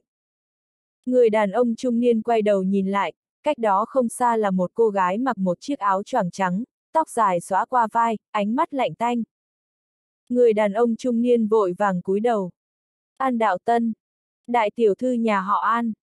Kỳ thật, người đời đều cho rằng An Mục kia là thiên tài yêu nghiệt nhất nhà họ An, nhưng thật ra lại không phải, An Đạo Tân này mới đúng. Từ nhỏ An Mục đã được nhà họ An bồi dưỡng, nhưng An Đạo Tân này lại được bồi dưỡng ở Tổng viện Thư viện Quan Huyên. An Đạo Tân mới là thiên tài yêu nghiệt nhất thế hệ trẻ hiện nay của nhà họ An. Hơn nữa, còn là thiên tài được ca ngợi là yêu nghiệt nhất ngoại trừ hai nữ võ thần nhà họ An, cũng là người có khả năng trở thành võ thần đời này nhất. An Nhã nhìn về phía An Đạo Tân, An Đạo Tân bình tĩnh nói, gia chủ, một diệp quân mà thôi, không cần thúc thúc ra mặt, ta là đủ rồi. An Nhã hơi do dự, sau đó nói, người có nắm chắc không? An Đạo Tân khẽ cười, người này nhất định sẽ tranh giành số mệnh đại đạo, đến lúc đó, ta sẽ tự mình giết hắn, tránh việc người ngoài nói nhà họ An ta dùng thế ức hiếp người. An Nhã im lặng. Trong khoảng thời gian này, quả thật bên ngoài đã xuất hiện một số lời bàn tán không tốt về nhà họ An. An Đạo Tân đột nhiên nói, ta từng gặp vị đó trong hệ ngân hà và đã kết bạn. Nghe vậy, An Nhã ngồi bật dậy, thật sao? An Đạo Tân gật đầu. An Nhã đột nhiên bật cười một cách điên cuồng, ha ha. Vị đó trong hệ ngân hà. Vị đó chính là người do chủ nhân đại đạo bút đích thân lựa chọn, cũng là người mang thiên mệnh thời này.